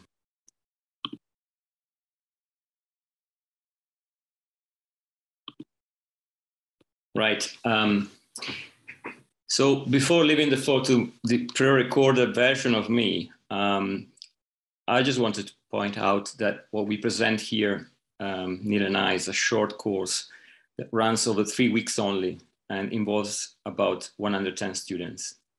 I also want to preamble that despite the focus of the exercise seems to be very much on material and embodied carbon numeracy, it is in fact inspired by um, the idea of interdependencies as put forward by Belgian philosopher Isabelle Stengers.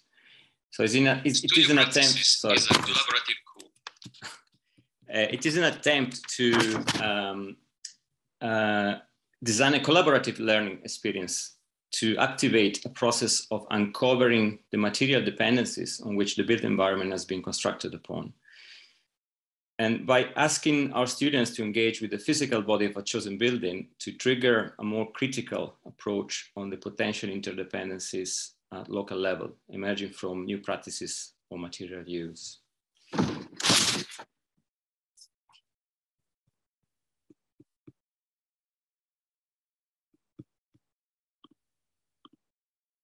Studio, sorry, I Studio Practices is a collaborative course that for the last eight years has brought together MSc Architecture students in year two and students from the shared um, program between Glasgow University and GSA um, Product Design Engineering um, year three. The course is a valuable opportunity to share skills, knowledge, and capabilities, and to discover areas of practice which are outside the norms of respective disciplines. We understand that it's also an opportunity to inspire new and innovative ways of thinking and working. Keeping the project within the broader concerns for the climate emergency, this year we asked students to consider more intently the built environment as the result of the extractive practices of material and other resources from the biosphere and the geosphere. We discussed with students the benefits in reversing this trend, striving for a consistent reuse of materials and components within the anthroposphere. Mining the material stock already available in cities make possible a drastic reduction of materials and energy flows, reducing the ecological and social impact at the point of extraction. Urban mining as a practice of reusing existing buildings is a process we have now largely forgotten needed to relearn.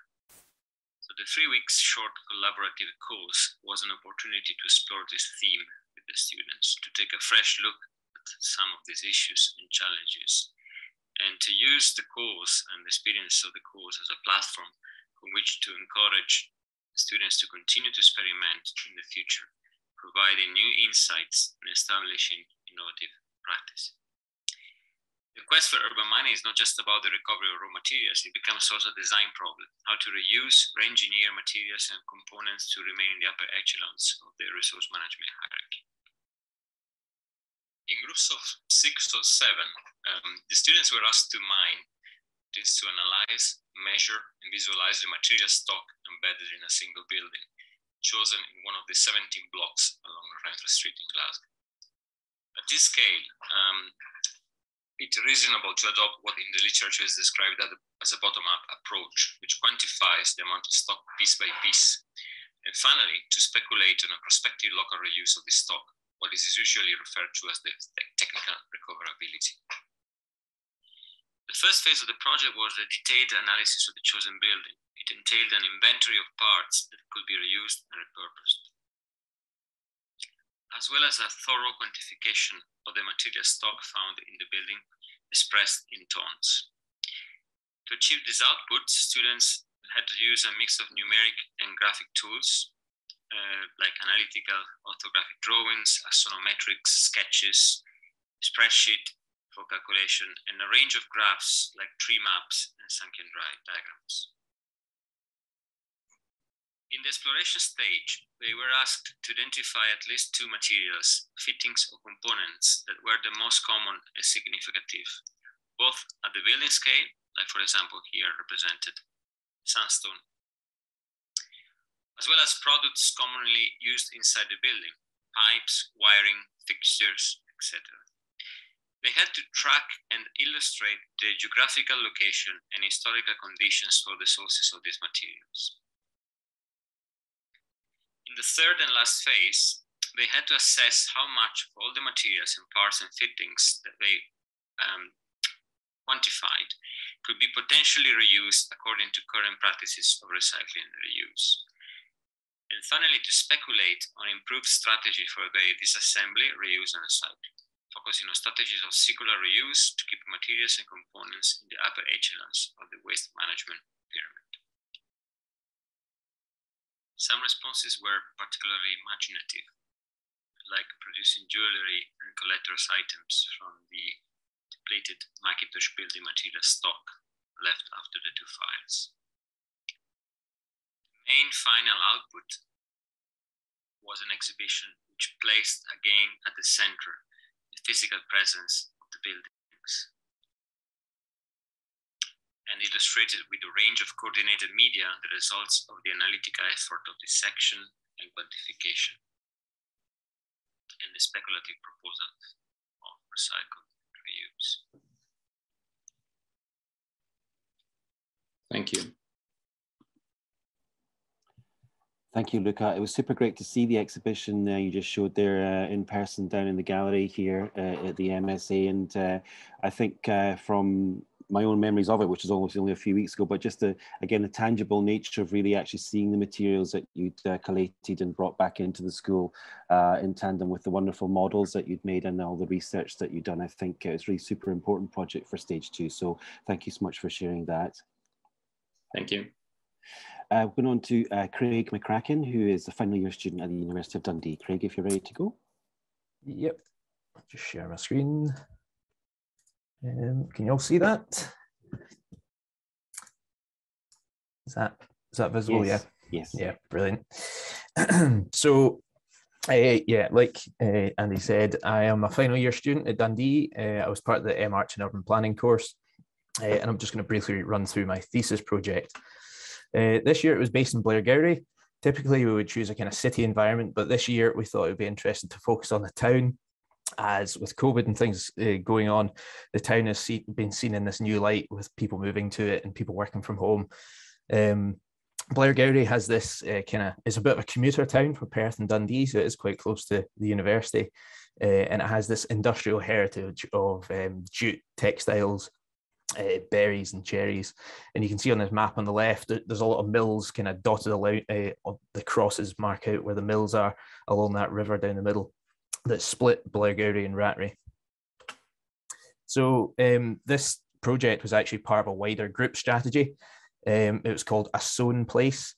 And we actually treated Blairgowrie like a piece of fabric and tried to kind of repair it by uh, stopping it sprawling using things like hemming, uh, hemming the edge, stitching to create connections, darning to kind of repair backlands and things like that and tie it back into the existing fabric, patching to entirely replace certain areas, and then embellishing to kind of celebrate certain areas that are underappreciated.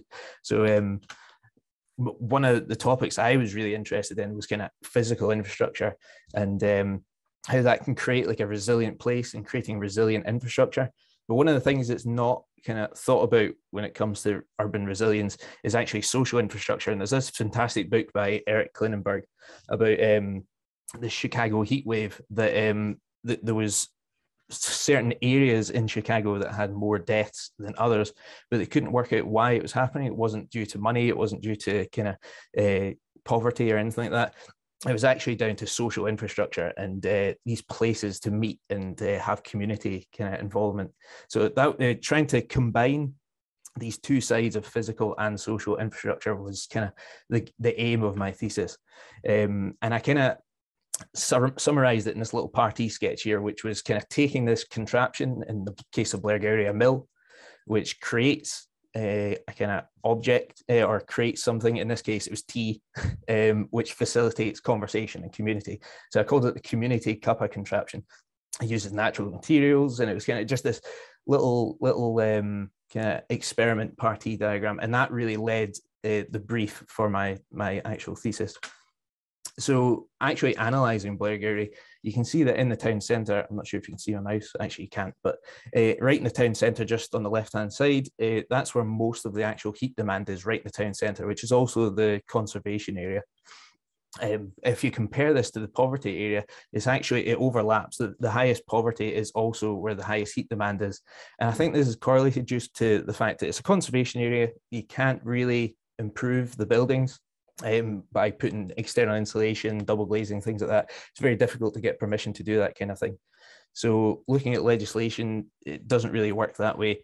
So um, my theory was to actually create some kind of community heat and power hub that would supply um, kind of micro energy to this zone, uh, which in itself is quite controversial. Um, putting a power plant um, right in the middle of the town centre and in such a beautiful area uh, to supply this conservation area. So it is controversial, but being at university and being in this education environment, it actually was a really good setting to test something like this.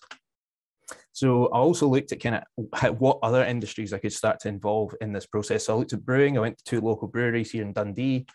I also went to a bakery um, and kind of looked at the baking process and how baking and brewing kind of come together uh, in this kind of symbiotic relationship and then the actual chosen micro energy generation style was uh, actually biomass, which is proven that people can kind of interact ar- uh, around biomass plants, such as with the CopenHill kind of experiment where they, they did the ski center on a power plant. So actually having that community factor uh, factored into it, um, biomass seemed like the best option. And when I bring these three programs together, it creates this really dense uh, symbiotic relationship between the three programs. You can use like spent grain from the brewing to make bread, and you can use old bread in the biomass process, etc. It's all kind of interlinked and created this really dense hybrid program. Um, I then started looking at that social aspect and looking at how you know things like STEAMies, um, where these incredible physically functional places, but also social places where people would come to meet, chat. Uh, and this kind of thing is actually, unfortunately, kind of lost uh, along with other industrial heritage. Like this is an image of the mill, which turned out to be my site, that uh, mill on the left hand side there. So I yeah, I was looking at how we could kind of look at the massing of this old industry and then kind of drawing out characteristics like um, towers and things like that, which um, kind of cemented themselves in Blairgowrie and tried to make the idea of a power plant a bit less daunting right in the town centre. Um, so when like, you start layering up this physical, social, uh, and like the form of it uh, in this lightweight frame, this is a kind of exploded view of everything layered up. And then when you uh, when you actually look inside, this kind of really interesting thing happens where there's industry in the background, people brewing in the front. You've got people having a drink, having a chat. This community aspect. Um, you know, you can even use the outside of the building, project onto it. You know, there's this social function as well, and um, it actually kind of starts to sit almost like an old mill, but like the form of an old mill, but it's actually this new community and physical hub for uh, the town. So that's me. Hope I didn't go over my time. That was good. Thank you, Craig. That was super interesting. Yeah, thanks so much for sharing that. Um, it's really great to actually also uh, uh, move into uh, the smaller settlements out beyond Dundee as well. Um, and thanks for uh, Sofie also posting the link to the uh, the Klinenberg book uh, for reference to that as well. Thank you. Um, lastly, we have Andy Campbell, who's the stage one leader at Strathclyde University. After Andy's presented, I will invite some very short or brief reflections just on the design sprint here before we move back to Gillian for the final summing up with uh, the uh, summary from our guest speakers. So over to you, Andy. Thanks, Andy and team. Um, my name's Andy Campbell, year one leader at Strathclyde. And yeah, apologies, we've had the external examiners in, uh, this morning, so I've actually not been able to, to tune in to, to the majority of, of this morning, but I have caught, caught snippets. Um, so if I start talking about something that's been talked about already, then apologies. I can see my colleague Hazel Wallace is on the call and one of our students from second year, Jonathan. So uh, you guys feel free to jump in and help me out if, if, if, if required. Um, at Strathclyde, all of our, um, I'm going to give a little bit of a, maybe not about one specific project, but just talk a little bit about the course structure um, and in particular the design studio. Uh, the design studio starts off in year one um, um, about a project about to shelter, and all of our projects are based around a verb. And in, fourth year was to care. So within these kind of verb headings, um, it sets up the problem to be solved and the theme, um, but it's primarily an anthropocentric approach um, and allows students to engage with political practical issues as a way of generating solutions rather than um, being led by conventional typology or form making. Um, uh, but recently I've been tasked um, with reviewing the design studies uh, curriculum against, uh, I suppose, the, um, how we teach um, about climate emergency and biodiversity loss. So my starting point, um, which uh, was to go to these verbs the structure for our course and think about how we kind of work with that.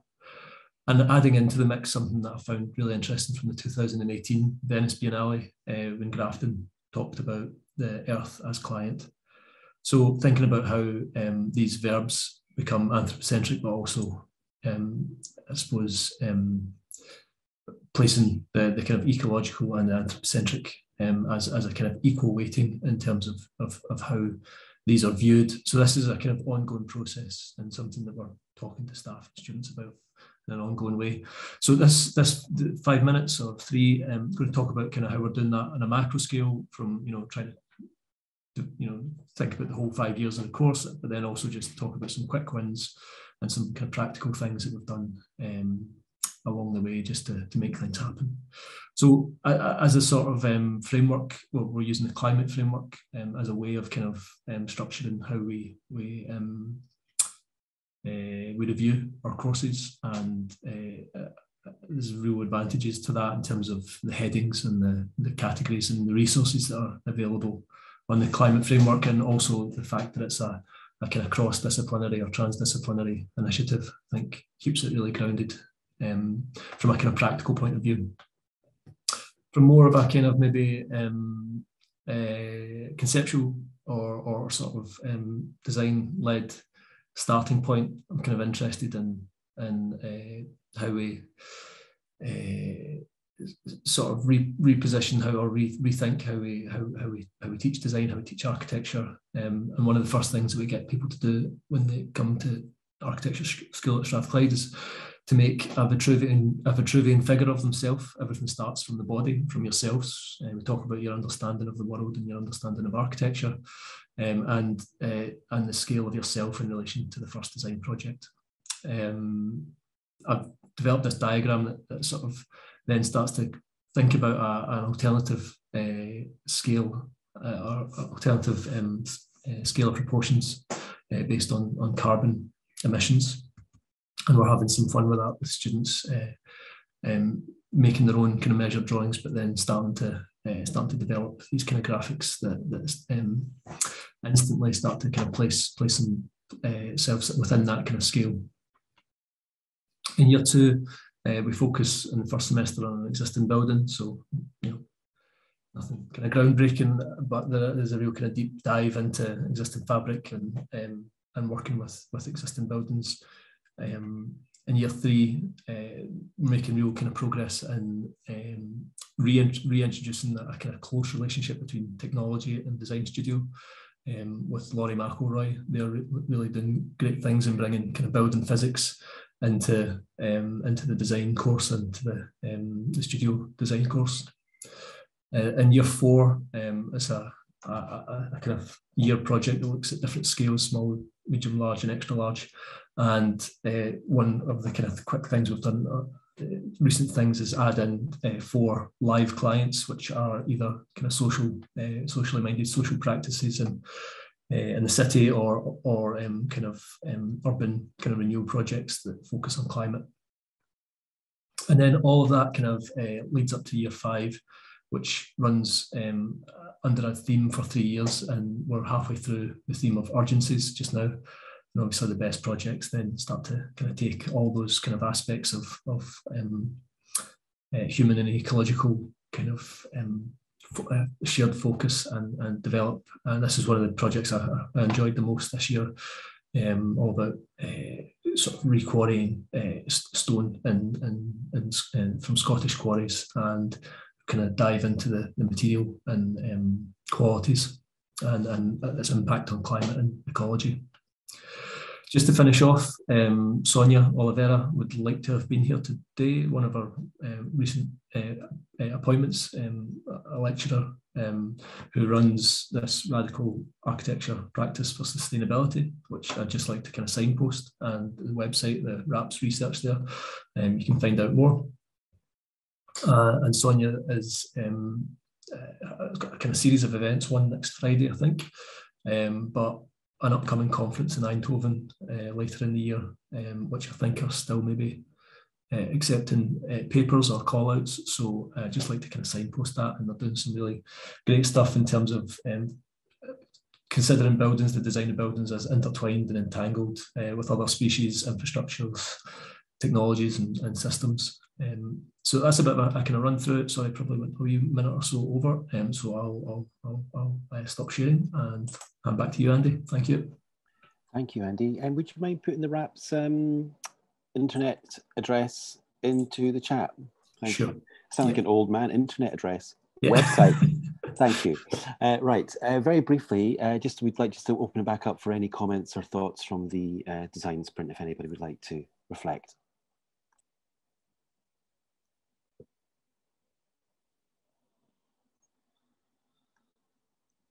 It was good to see in the chat there's some affinity between the stage two work and the, the fourth year work uh, between MSA and ESALA uh, with Luca, Simone and Moa. I think there is uh, some wonderful affinities through the, the lenses that you're looking at in the work there. Um, so that'd be great as in the chat if you want to meet up. Okay, well, I think we're, we've got oh, literally oh, sorry, two. Sorry, um, Gillian, just Alice has her hand up. One second. Oh, great, sorry. Alice. Just, just to say, it's just so great to see all of these examples of kind of different people working in different ways across, again, the design sprints and, and across the day. And I'm really wondering, like, could, and maybe you already have plans for this, but like, could this be something that repeats? Because it's just such a valuable experience. Like each of those four presentations just now, I, you know, thinking about them, and kind of going, oh, we could do this, we could try that. You know, it's just so great to hear this, this stuff. Um, so I just was wondering about that and just put that out there. Well, we kind of hoped it might might turn into something that was more regular because the Zoom, of course, now that we're also used to it, it, it makes all of this so much more easy. Yeah, I find it great. As an annual thing, just as a get together and a celebration at the end of the year, just to catch up and see what everybody else is doing, because I think that's the thing about isolation that, that we we need to get more connected. This but collaboration and democratic processes that you know we can share each other's ideas and be inspired by each other, which I think is, this has been a great platform. Yeah, I think it's great to have the schools and the students talk to each other more because obviously, uh, you know, in, in, a Scottish context, the heads of schools talk to each other, but it's actually very difficult for for staff uh, within schools, but also between the schools to understand who's doing what. And I think overall, obviously, we're all acutely aware of the challenges that we face, but actually sharing inspiring and progressive work is actually super important uh, to keep us all going, but also to learn from each other. So it's been a really great morning. So thank you to the design sprinters there. Um, I'll now hand you back uh, to Gillian, who will uh, take us through some final reflections well, and close us out. Yeah. Um, just on that last point, I'm going back to Felicity's comment where she made uh, the point that marginal change cannot lead to systemic um, systemic can't address systemic failures and just that point about all of us being able to talk to each other because sometimes you feel that you're trying to do something it feels a little bit out there but actually you know it's not. Everybody is trying to do um, to change things significantly and make and make progress uh, and really change the education of our students. So last one minute um, could I invite Sofie and Felicity perhaps if you'd like to just give us one comment reflection back. And, and before that, just thank you to everybody for presenting and coming along and, and putting the effort in to make those wonderful presentations. It's, it's just been really great. Thank you very much. Sofie, Felicity, would you like to just? Uh, oh, yeah, one comment. I don't know, Felicity, what would that be? Um, I just think that um, it comes back to this we can't think around the edges. Marginal change isn't enough. I think we need to do this together, not just in these spaces, but like really discussing together and um, go outside your comfort zone is uncomfortable, but do it anyway.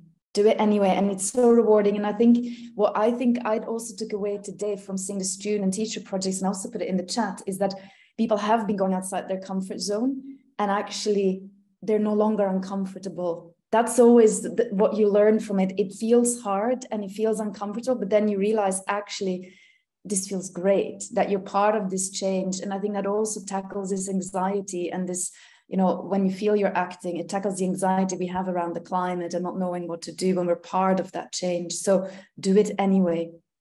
That's the best i can i can do for now. Great advice um, and I think I, I just um, welcome the platform. And in a way, this is how we should be teaching, right? We should all be in a room talking to our students and not at our students and allow this sort of possibilities and find a way of getting real discussion and also talking about our own interests and their interests and finding this idea of co-creation if we can. Great. Um, thank you. So from the three of us, Kathy, Andy, and myself, thank you very much again for presenting and attending and contributing to the Miro board and the chat. And a final thank you to Scott Sutherland School at RGU for funding the event. And hopefully maybe we can do it all again next year. Thank you. Take care, everyone. Bye. Feel Thank free to you. get in touch. Bye. Bye. Yeah. Bye. Thank you. Bye.